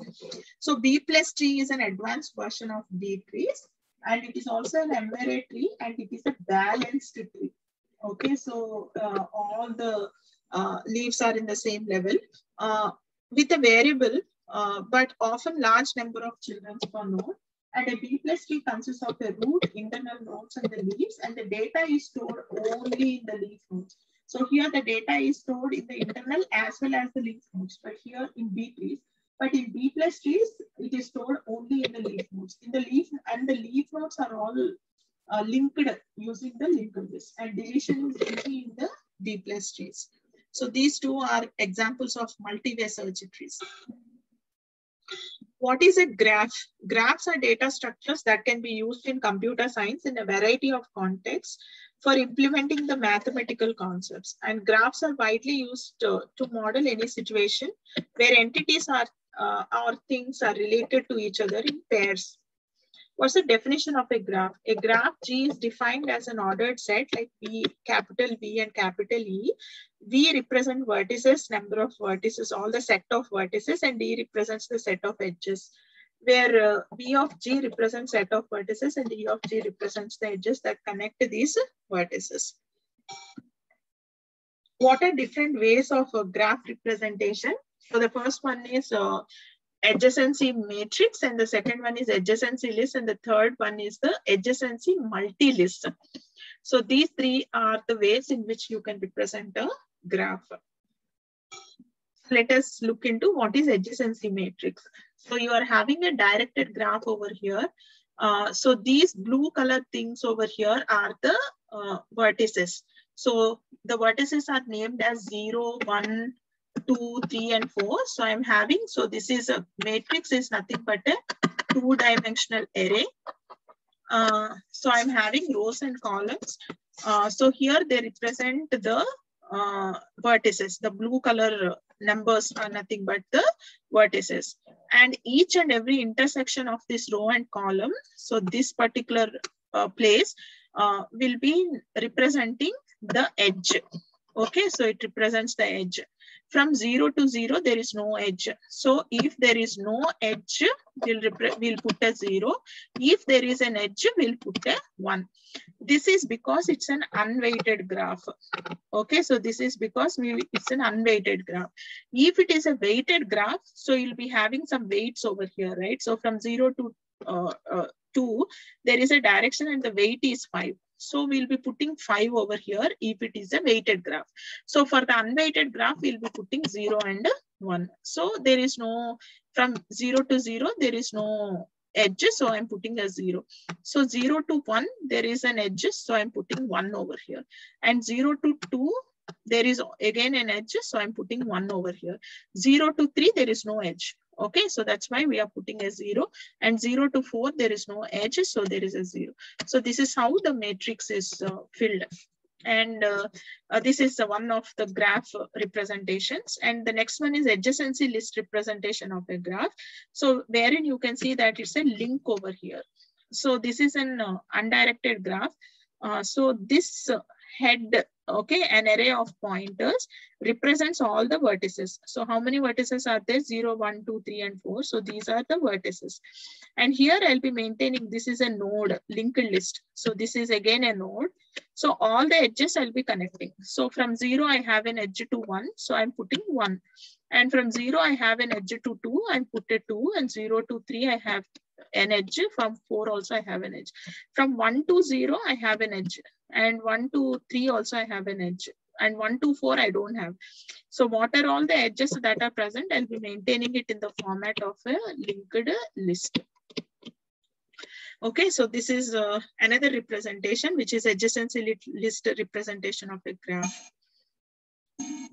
Uh, next one is, uh, uh, this is uh, your adjacency multilist, which is an extension of a linked representation. Uh, so here I'm having uh, four vertices and all the edges are numbered here. The list of edges, okay? So the first one is zero and one. So this edge is put here and some number we are giving. It can be N0 or E0 or anything you can give. So here I gave N0 and 0 to 2, this is N1 and 0 to 3, this is N2.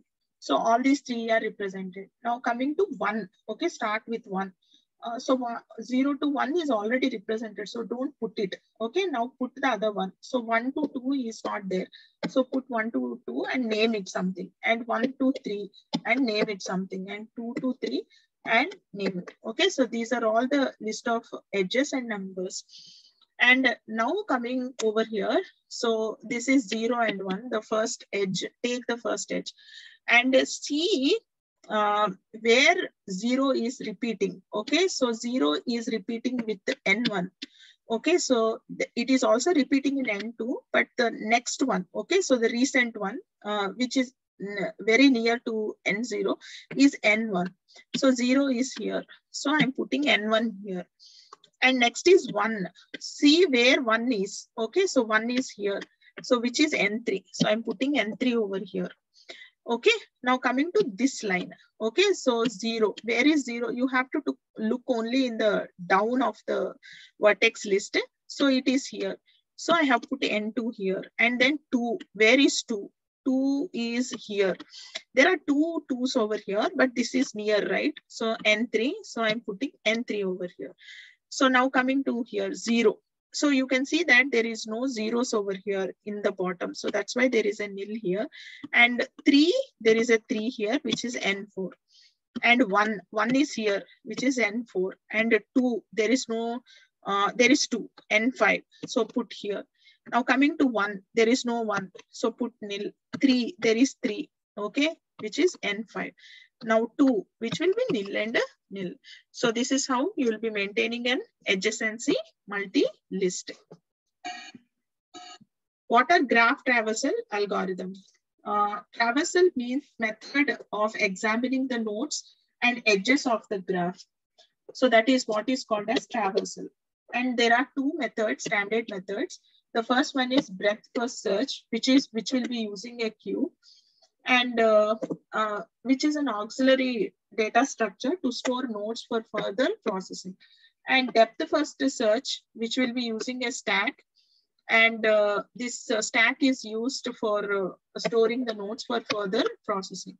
And BFS is, uh, is better at finding the shortest path in a graph, while DFS is be better at answering the connectivity queries. Okay, so which one to choose based on uh, the situation, the graph that is uh, given to you, you'll be choosing. For example, if the graph is dense, uh, then choose DFS. If the graph is sparse, then choose BFS. Okay, so based on uh, the graph, you'll be making a choice whether to go with the depth first search or breadth first search. So explain the depth first search. So here I have taken a graph. Let me explain you. So DFS uses a stack, right? DFS uses a stack. So before that, the first thing that you need to do is you need to construct an adjacency list. Okay, so I'm, I'm creating an adjacency list. So for A, B, C, D, E and F. Now construct the adjacency list. So from A, I can go to B, C, and D. From B, uh, A is already mentioned in the previous case, so I am not mentioning. I can go to I can go to E and I can go to F. Uh, and then from C, I can go to F. Okay, D, E, and F, all these are previously mentioned. So this is my adjacency list. Okay, so this is my adjacency list. And uh, now let us start working. Okay, find out the traversal. So I am putting a stack. Okay, so the starting vertex is A. So insert A into the list. Uh, so A is in, in the list. Now bring A out of the stack. After bringing A out of the stack, now look into the adjacency list and take B and put it in the stack. Okay, so the next node visited is from A, we are going to B. So depth first, right? So we are going to B. Now take B out and put it in the traversed list. Okay, so it is traversed. So you visited, right? So this is visited uh, over. So you have visited. So A, B is here. Now after taking B out, now put the now put you you you are now in the B adjacency list, right? So take the first one, which is E. Okay, put E onto the stack. So now from B, I have gone to E. Now take out E after taking out E, go to E in the adjacency list. In E, you don't have anything. Okay, so in E, you don't have anything to process or put it in the stack. So what I will do is I'll backtrack. Okay, go to B again. After go, going to B, now E is already processed. Now take F. Now put F onto the stack. Okay, put F onto the stack. So now take F out. So you have come back and now you're going to F. So go to F. So after going into the F in the adjacency list, there is nothing over here. So what you do, you go back to the parent, which is B. So B is uh, all the vertices here is are over. So there is no path from B to the other vertices. Now what you'll do from where you called B, you called B from A, right? Now go back to A and take C and put it in the stack. So C is in the stack. So now you have gone from F, you have gone to B and from B, you have gone to A. Now from A, you're going to C. Okay, you're not going from F to C. Remember, you're going back to A and from A, you have gone to C. And bring C out. Okay, I have got C out and look into what is there in uh, C. So I have F, which is already processed. So F is already processed. So there is no point in bringing uh, F uh, here because it's already visited. So you don't require to visit it again. Uh, so you go back to A again. Okay, and from A, I'm going to B. Okay, so this is how the uh, traversal happened. So from A, you're going to B, and from B, you have gone to E, and from uh, B, you have gone to from B, you have gone to F, and from A, you have gone to C, and from A only, you have gone to B. So this is the spanning tree, and this is how uh, the output of the depth first search. Okay, so the order of the visited nodes is A, B, E, F, C, and D. Okay, so DFS uses a stack uh, for uh, uh, processing the nodes. Explain the breadth first search. Okay, so I'm taking the same adjacency uh, list, but here now to perform the breadth first search, we'll be using a queue. So what I'll do, I'll take A, okay? So after taking A out, so A is already visited, so it is breadth first. So what you'll do is, you will push all the nodes from uh, that are there in the adjacency list of A. You can see B, C, D are there in the adjacency list. So put all of them, okay? Right. Now take B out. So B is visited. So you have gone from A to B and B is visited. Uh, now take all the elements in B and put it. What are there? E and F are there, right? So you put E and F in the queue. Okay, so now go to C. So A is visiting C now and look into what is there in C. C, there is F, but F is already there in the queue. So you don't require to push uh, enqueue it again into the queue. Now again, A is going to D. Okay, so see that it is breadth first. So from A, you're going to B, then C, and then D.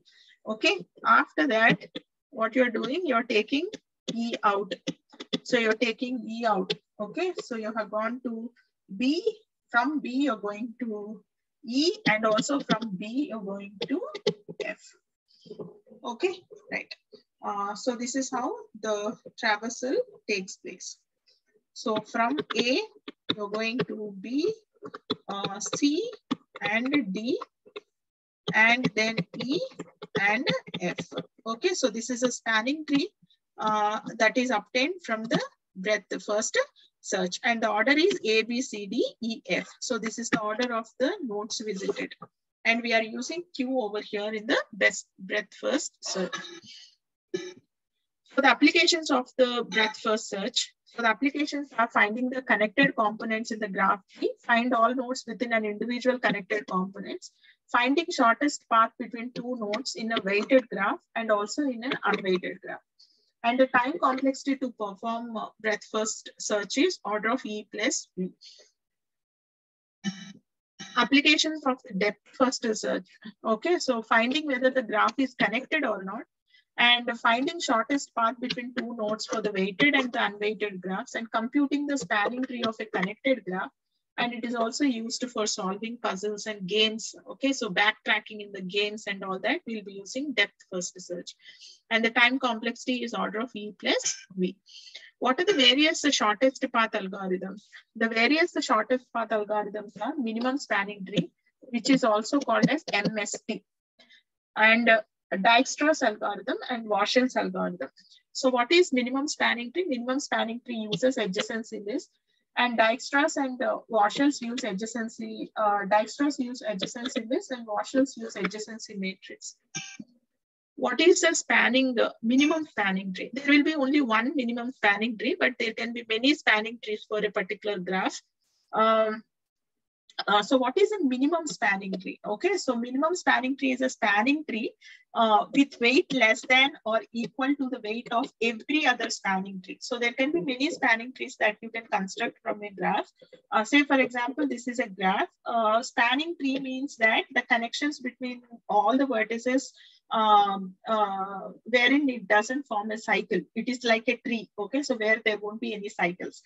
Uh, so this is a spanning tree uh, where we are connecting them all, all the vertices will be there. Okay, so there are five vertices, all the five vertices will be there in the spanning tree. But the cost over here is 13.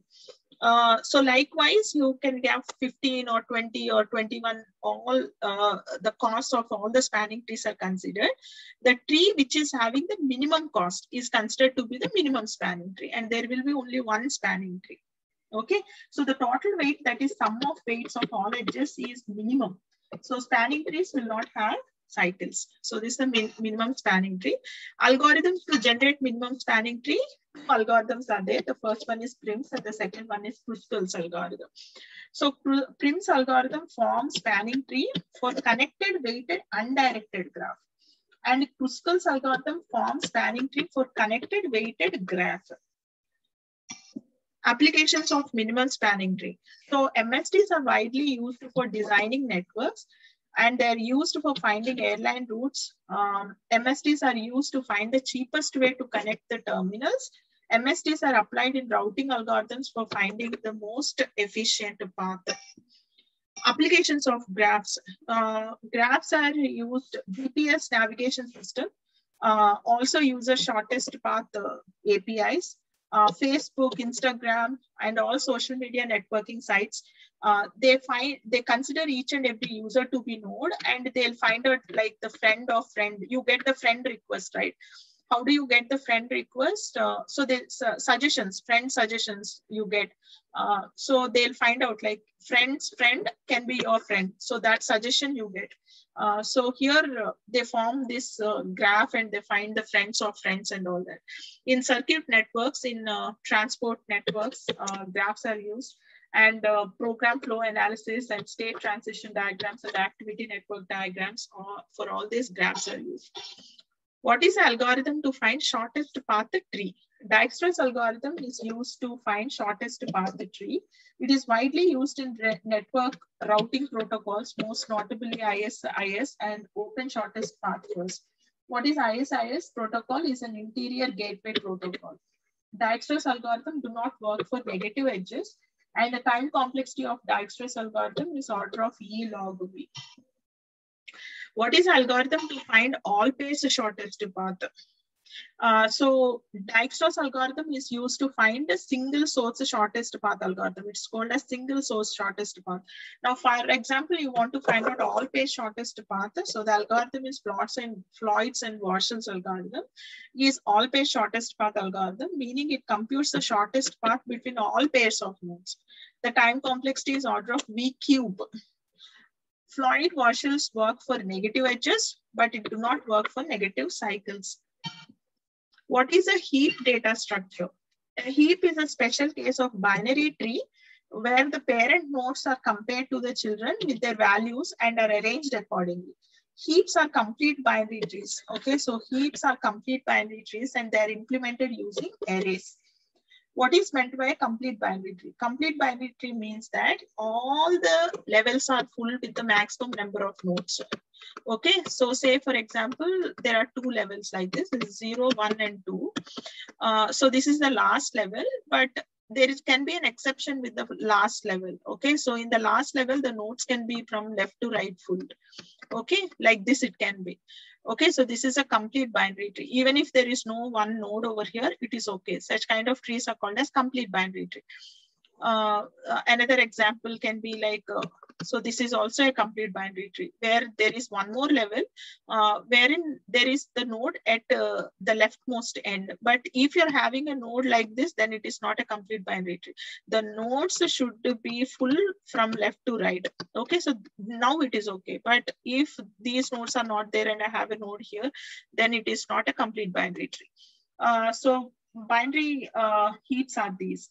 Uh, so this is, there are two types of heaps, the max heap and the min heap. Uh, now, if you consider this max uh, min heap, so this is considered to be a subtree and subtree, and this entire thing is a tree over here. So any subtree you consider, min means that the minimum element among these three. Okay, so these three, right? The minimum element among these three should be at the root. So the minimum is 30, 30 is in the root. So minimum among 40, 15 and 15, 15 is minimum, it's at the root. So the minimum among this left subtree and right subtree is 10, 10 is at the root. So the, such kind of trees are called as min heaps. And uh, coming to the max heap, the maximum element will be at the root. So here the max is 40, so it's in the root. So here the max element is in the root. So here the max element is in the root. So then you call that as the max heap. Applications of heap data structure uh, heap data structure is used to uh, sort, okay, in sorting, which is called as heap sort algorithm wherein uh, which, uh, which is an algorithm for sorting elements in either min heap or max heap. Okay, so min heap means that less element is in the root, max heap means that the greatest element is in the root. So after uh, getting the maximum element among the element, you put it in the last of the list and again find out next max and put it in the last but one position.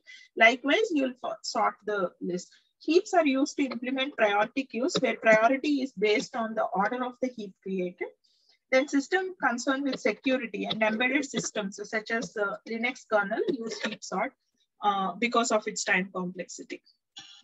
What is a hash table? Hash table is a data structure in which keys are mapped to array positions by using a hash function. We map the keys to array locations or array indices uh, value stored in the hash table can be searched in less time. So this is constant time by using a hash function, which generates the address from the key. Let us see how. Uh, so say, for example, this is the key. Okay, so John Smith is the key. Uh, so there is a hash function.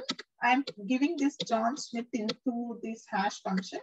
And this hash function is generating me a key uh, index, which is 873.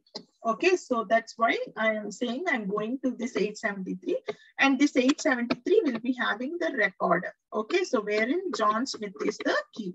Maybe this is the primary key. You can say that the name of the employee is the primary key. So then uh, this is the record, entire record of the employee, which is found at 873. How did we get this 873? We got this 873 from the hash function.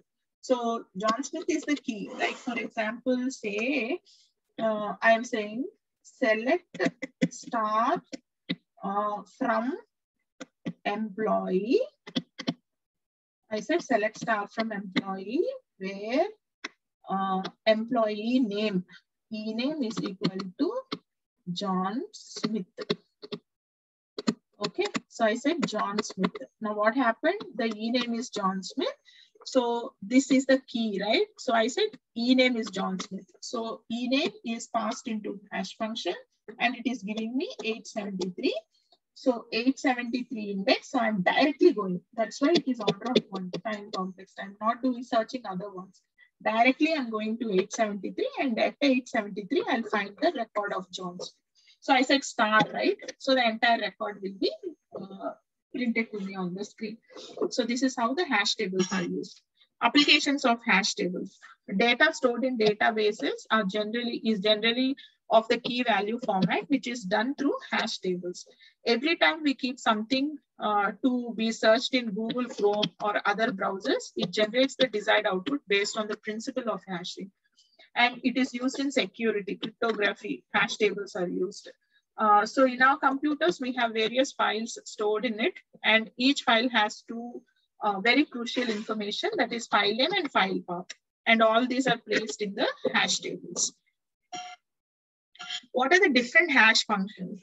So hash functions, uh, hash function can be numerical, uh, can take numerical key or alphanumerical key. If it is taking alphanumerical numerical key, then the ASCII value of that uh, particular uh, alphabet can be considered.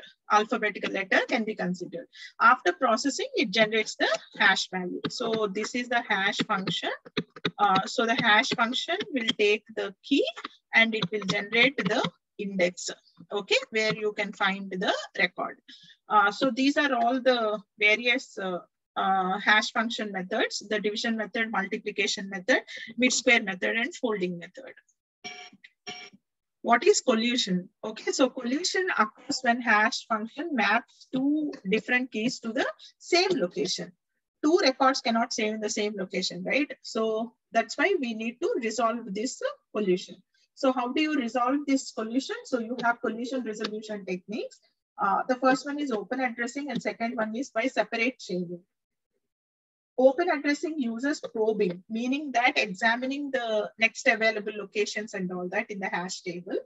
And uh, open addressing can be implemented using uh, these techniques like linear probing, quadratic probing, double hashing, and rehashing.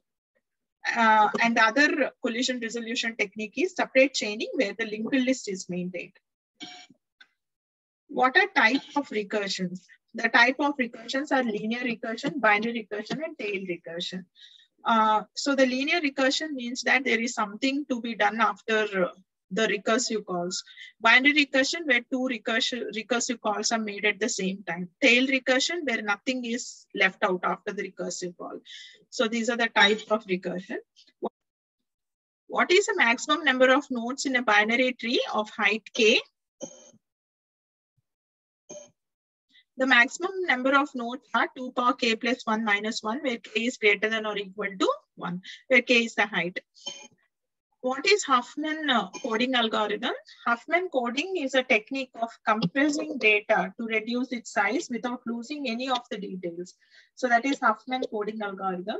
And it was first developed by David Huffman. Uh, it came, the name came upon from the name of the uh, creator. So Huffman coding uh, is generally generally useful to compress the data. Okay, so in, in which there are frequently occurring characters. So for doing this Huffman uh, coding, we need a priority queue. So priority queue is used for building the Huffman tree such that nodes with the lowest frequency have the highest priority. So a min heap data structure can be used to implement the functionality of the priority queue. So in the Huffman coding algorithm, we use a priority queue. In turn, the priority queue is implemented uh, by a min heap. What is the difference between tree and graph data structure? Tree and graph are differentiated by the fact that the tree structure must be connected and can never have loops. Whereas in graph, there are no restrictions like this. Graph can have cycles. Tree provides insight on relationship between the nodes in a hierarchical manner and graph follows a network model. What is topological sort in a graph? Topological sort is the linear ordering of vertices such that for every directed edge ij, vertex i comes before vertex j in the order. Okay. So topological sort is only possible for the DAG, which is directed acyclic graph. And applications of the topological sort are job scheduling from the given dependencies among jobs, ordering the formula, uh, cell evaluation in spreadsheets, and ordering of compilation tasks to be performed in uh, uh, make files and data serialization and resolving symbol de dependencies in the linkers. Okay, that's it friends. Uh, I hope uh, this video is helpful to you. I made it a point that I discuss all the topics from the data structures and it is a one place destination for you to learn uh, all the concepts in a single stretch. Uh, so I hope this video will help you in your interviews and also um, uh, in your examinations. Uh, please let me know like if you're having any queries, uh, please let me know in the comment section. And also if you want any further topics to be made, uh, uh, to be made, uh, let me know even that topics in the comment section. it would be pleasure helping you in building your career. I wish you all the best for your interviews and for your upcoming examinations. Thank you for watching.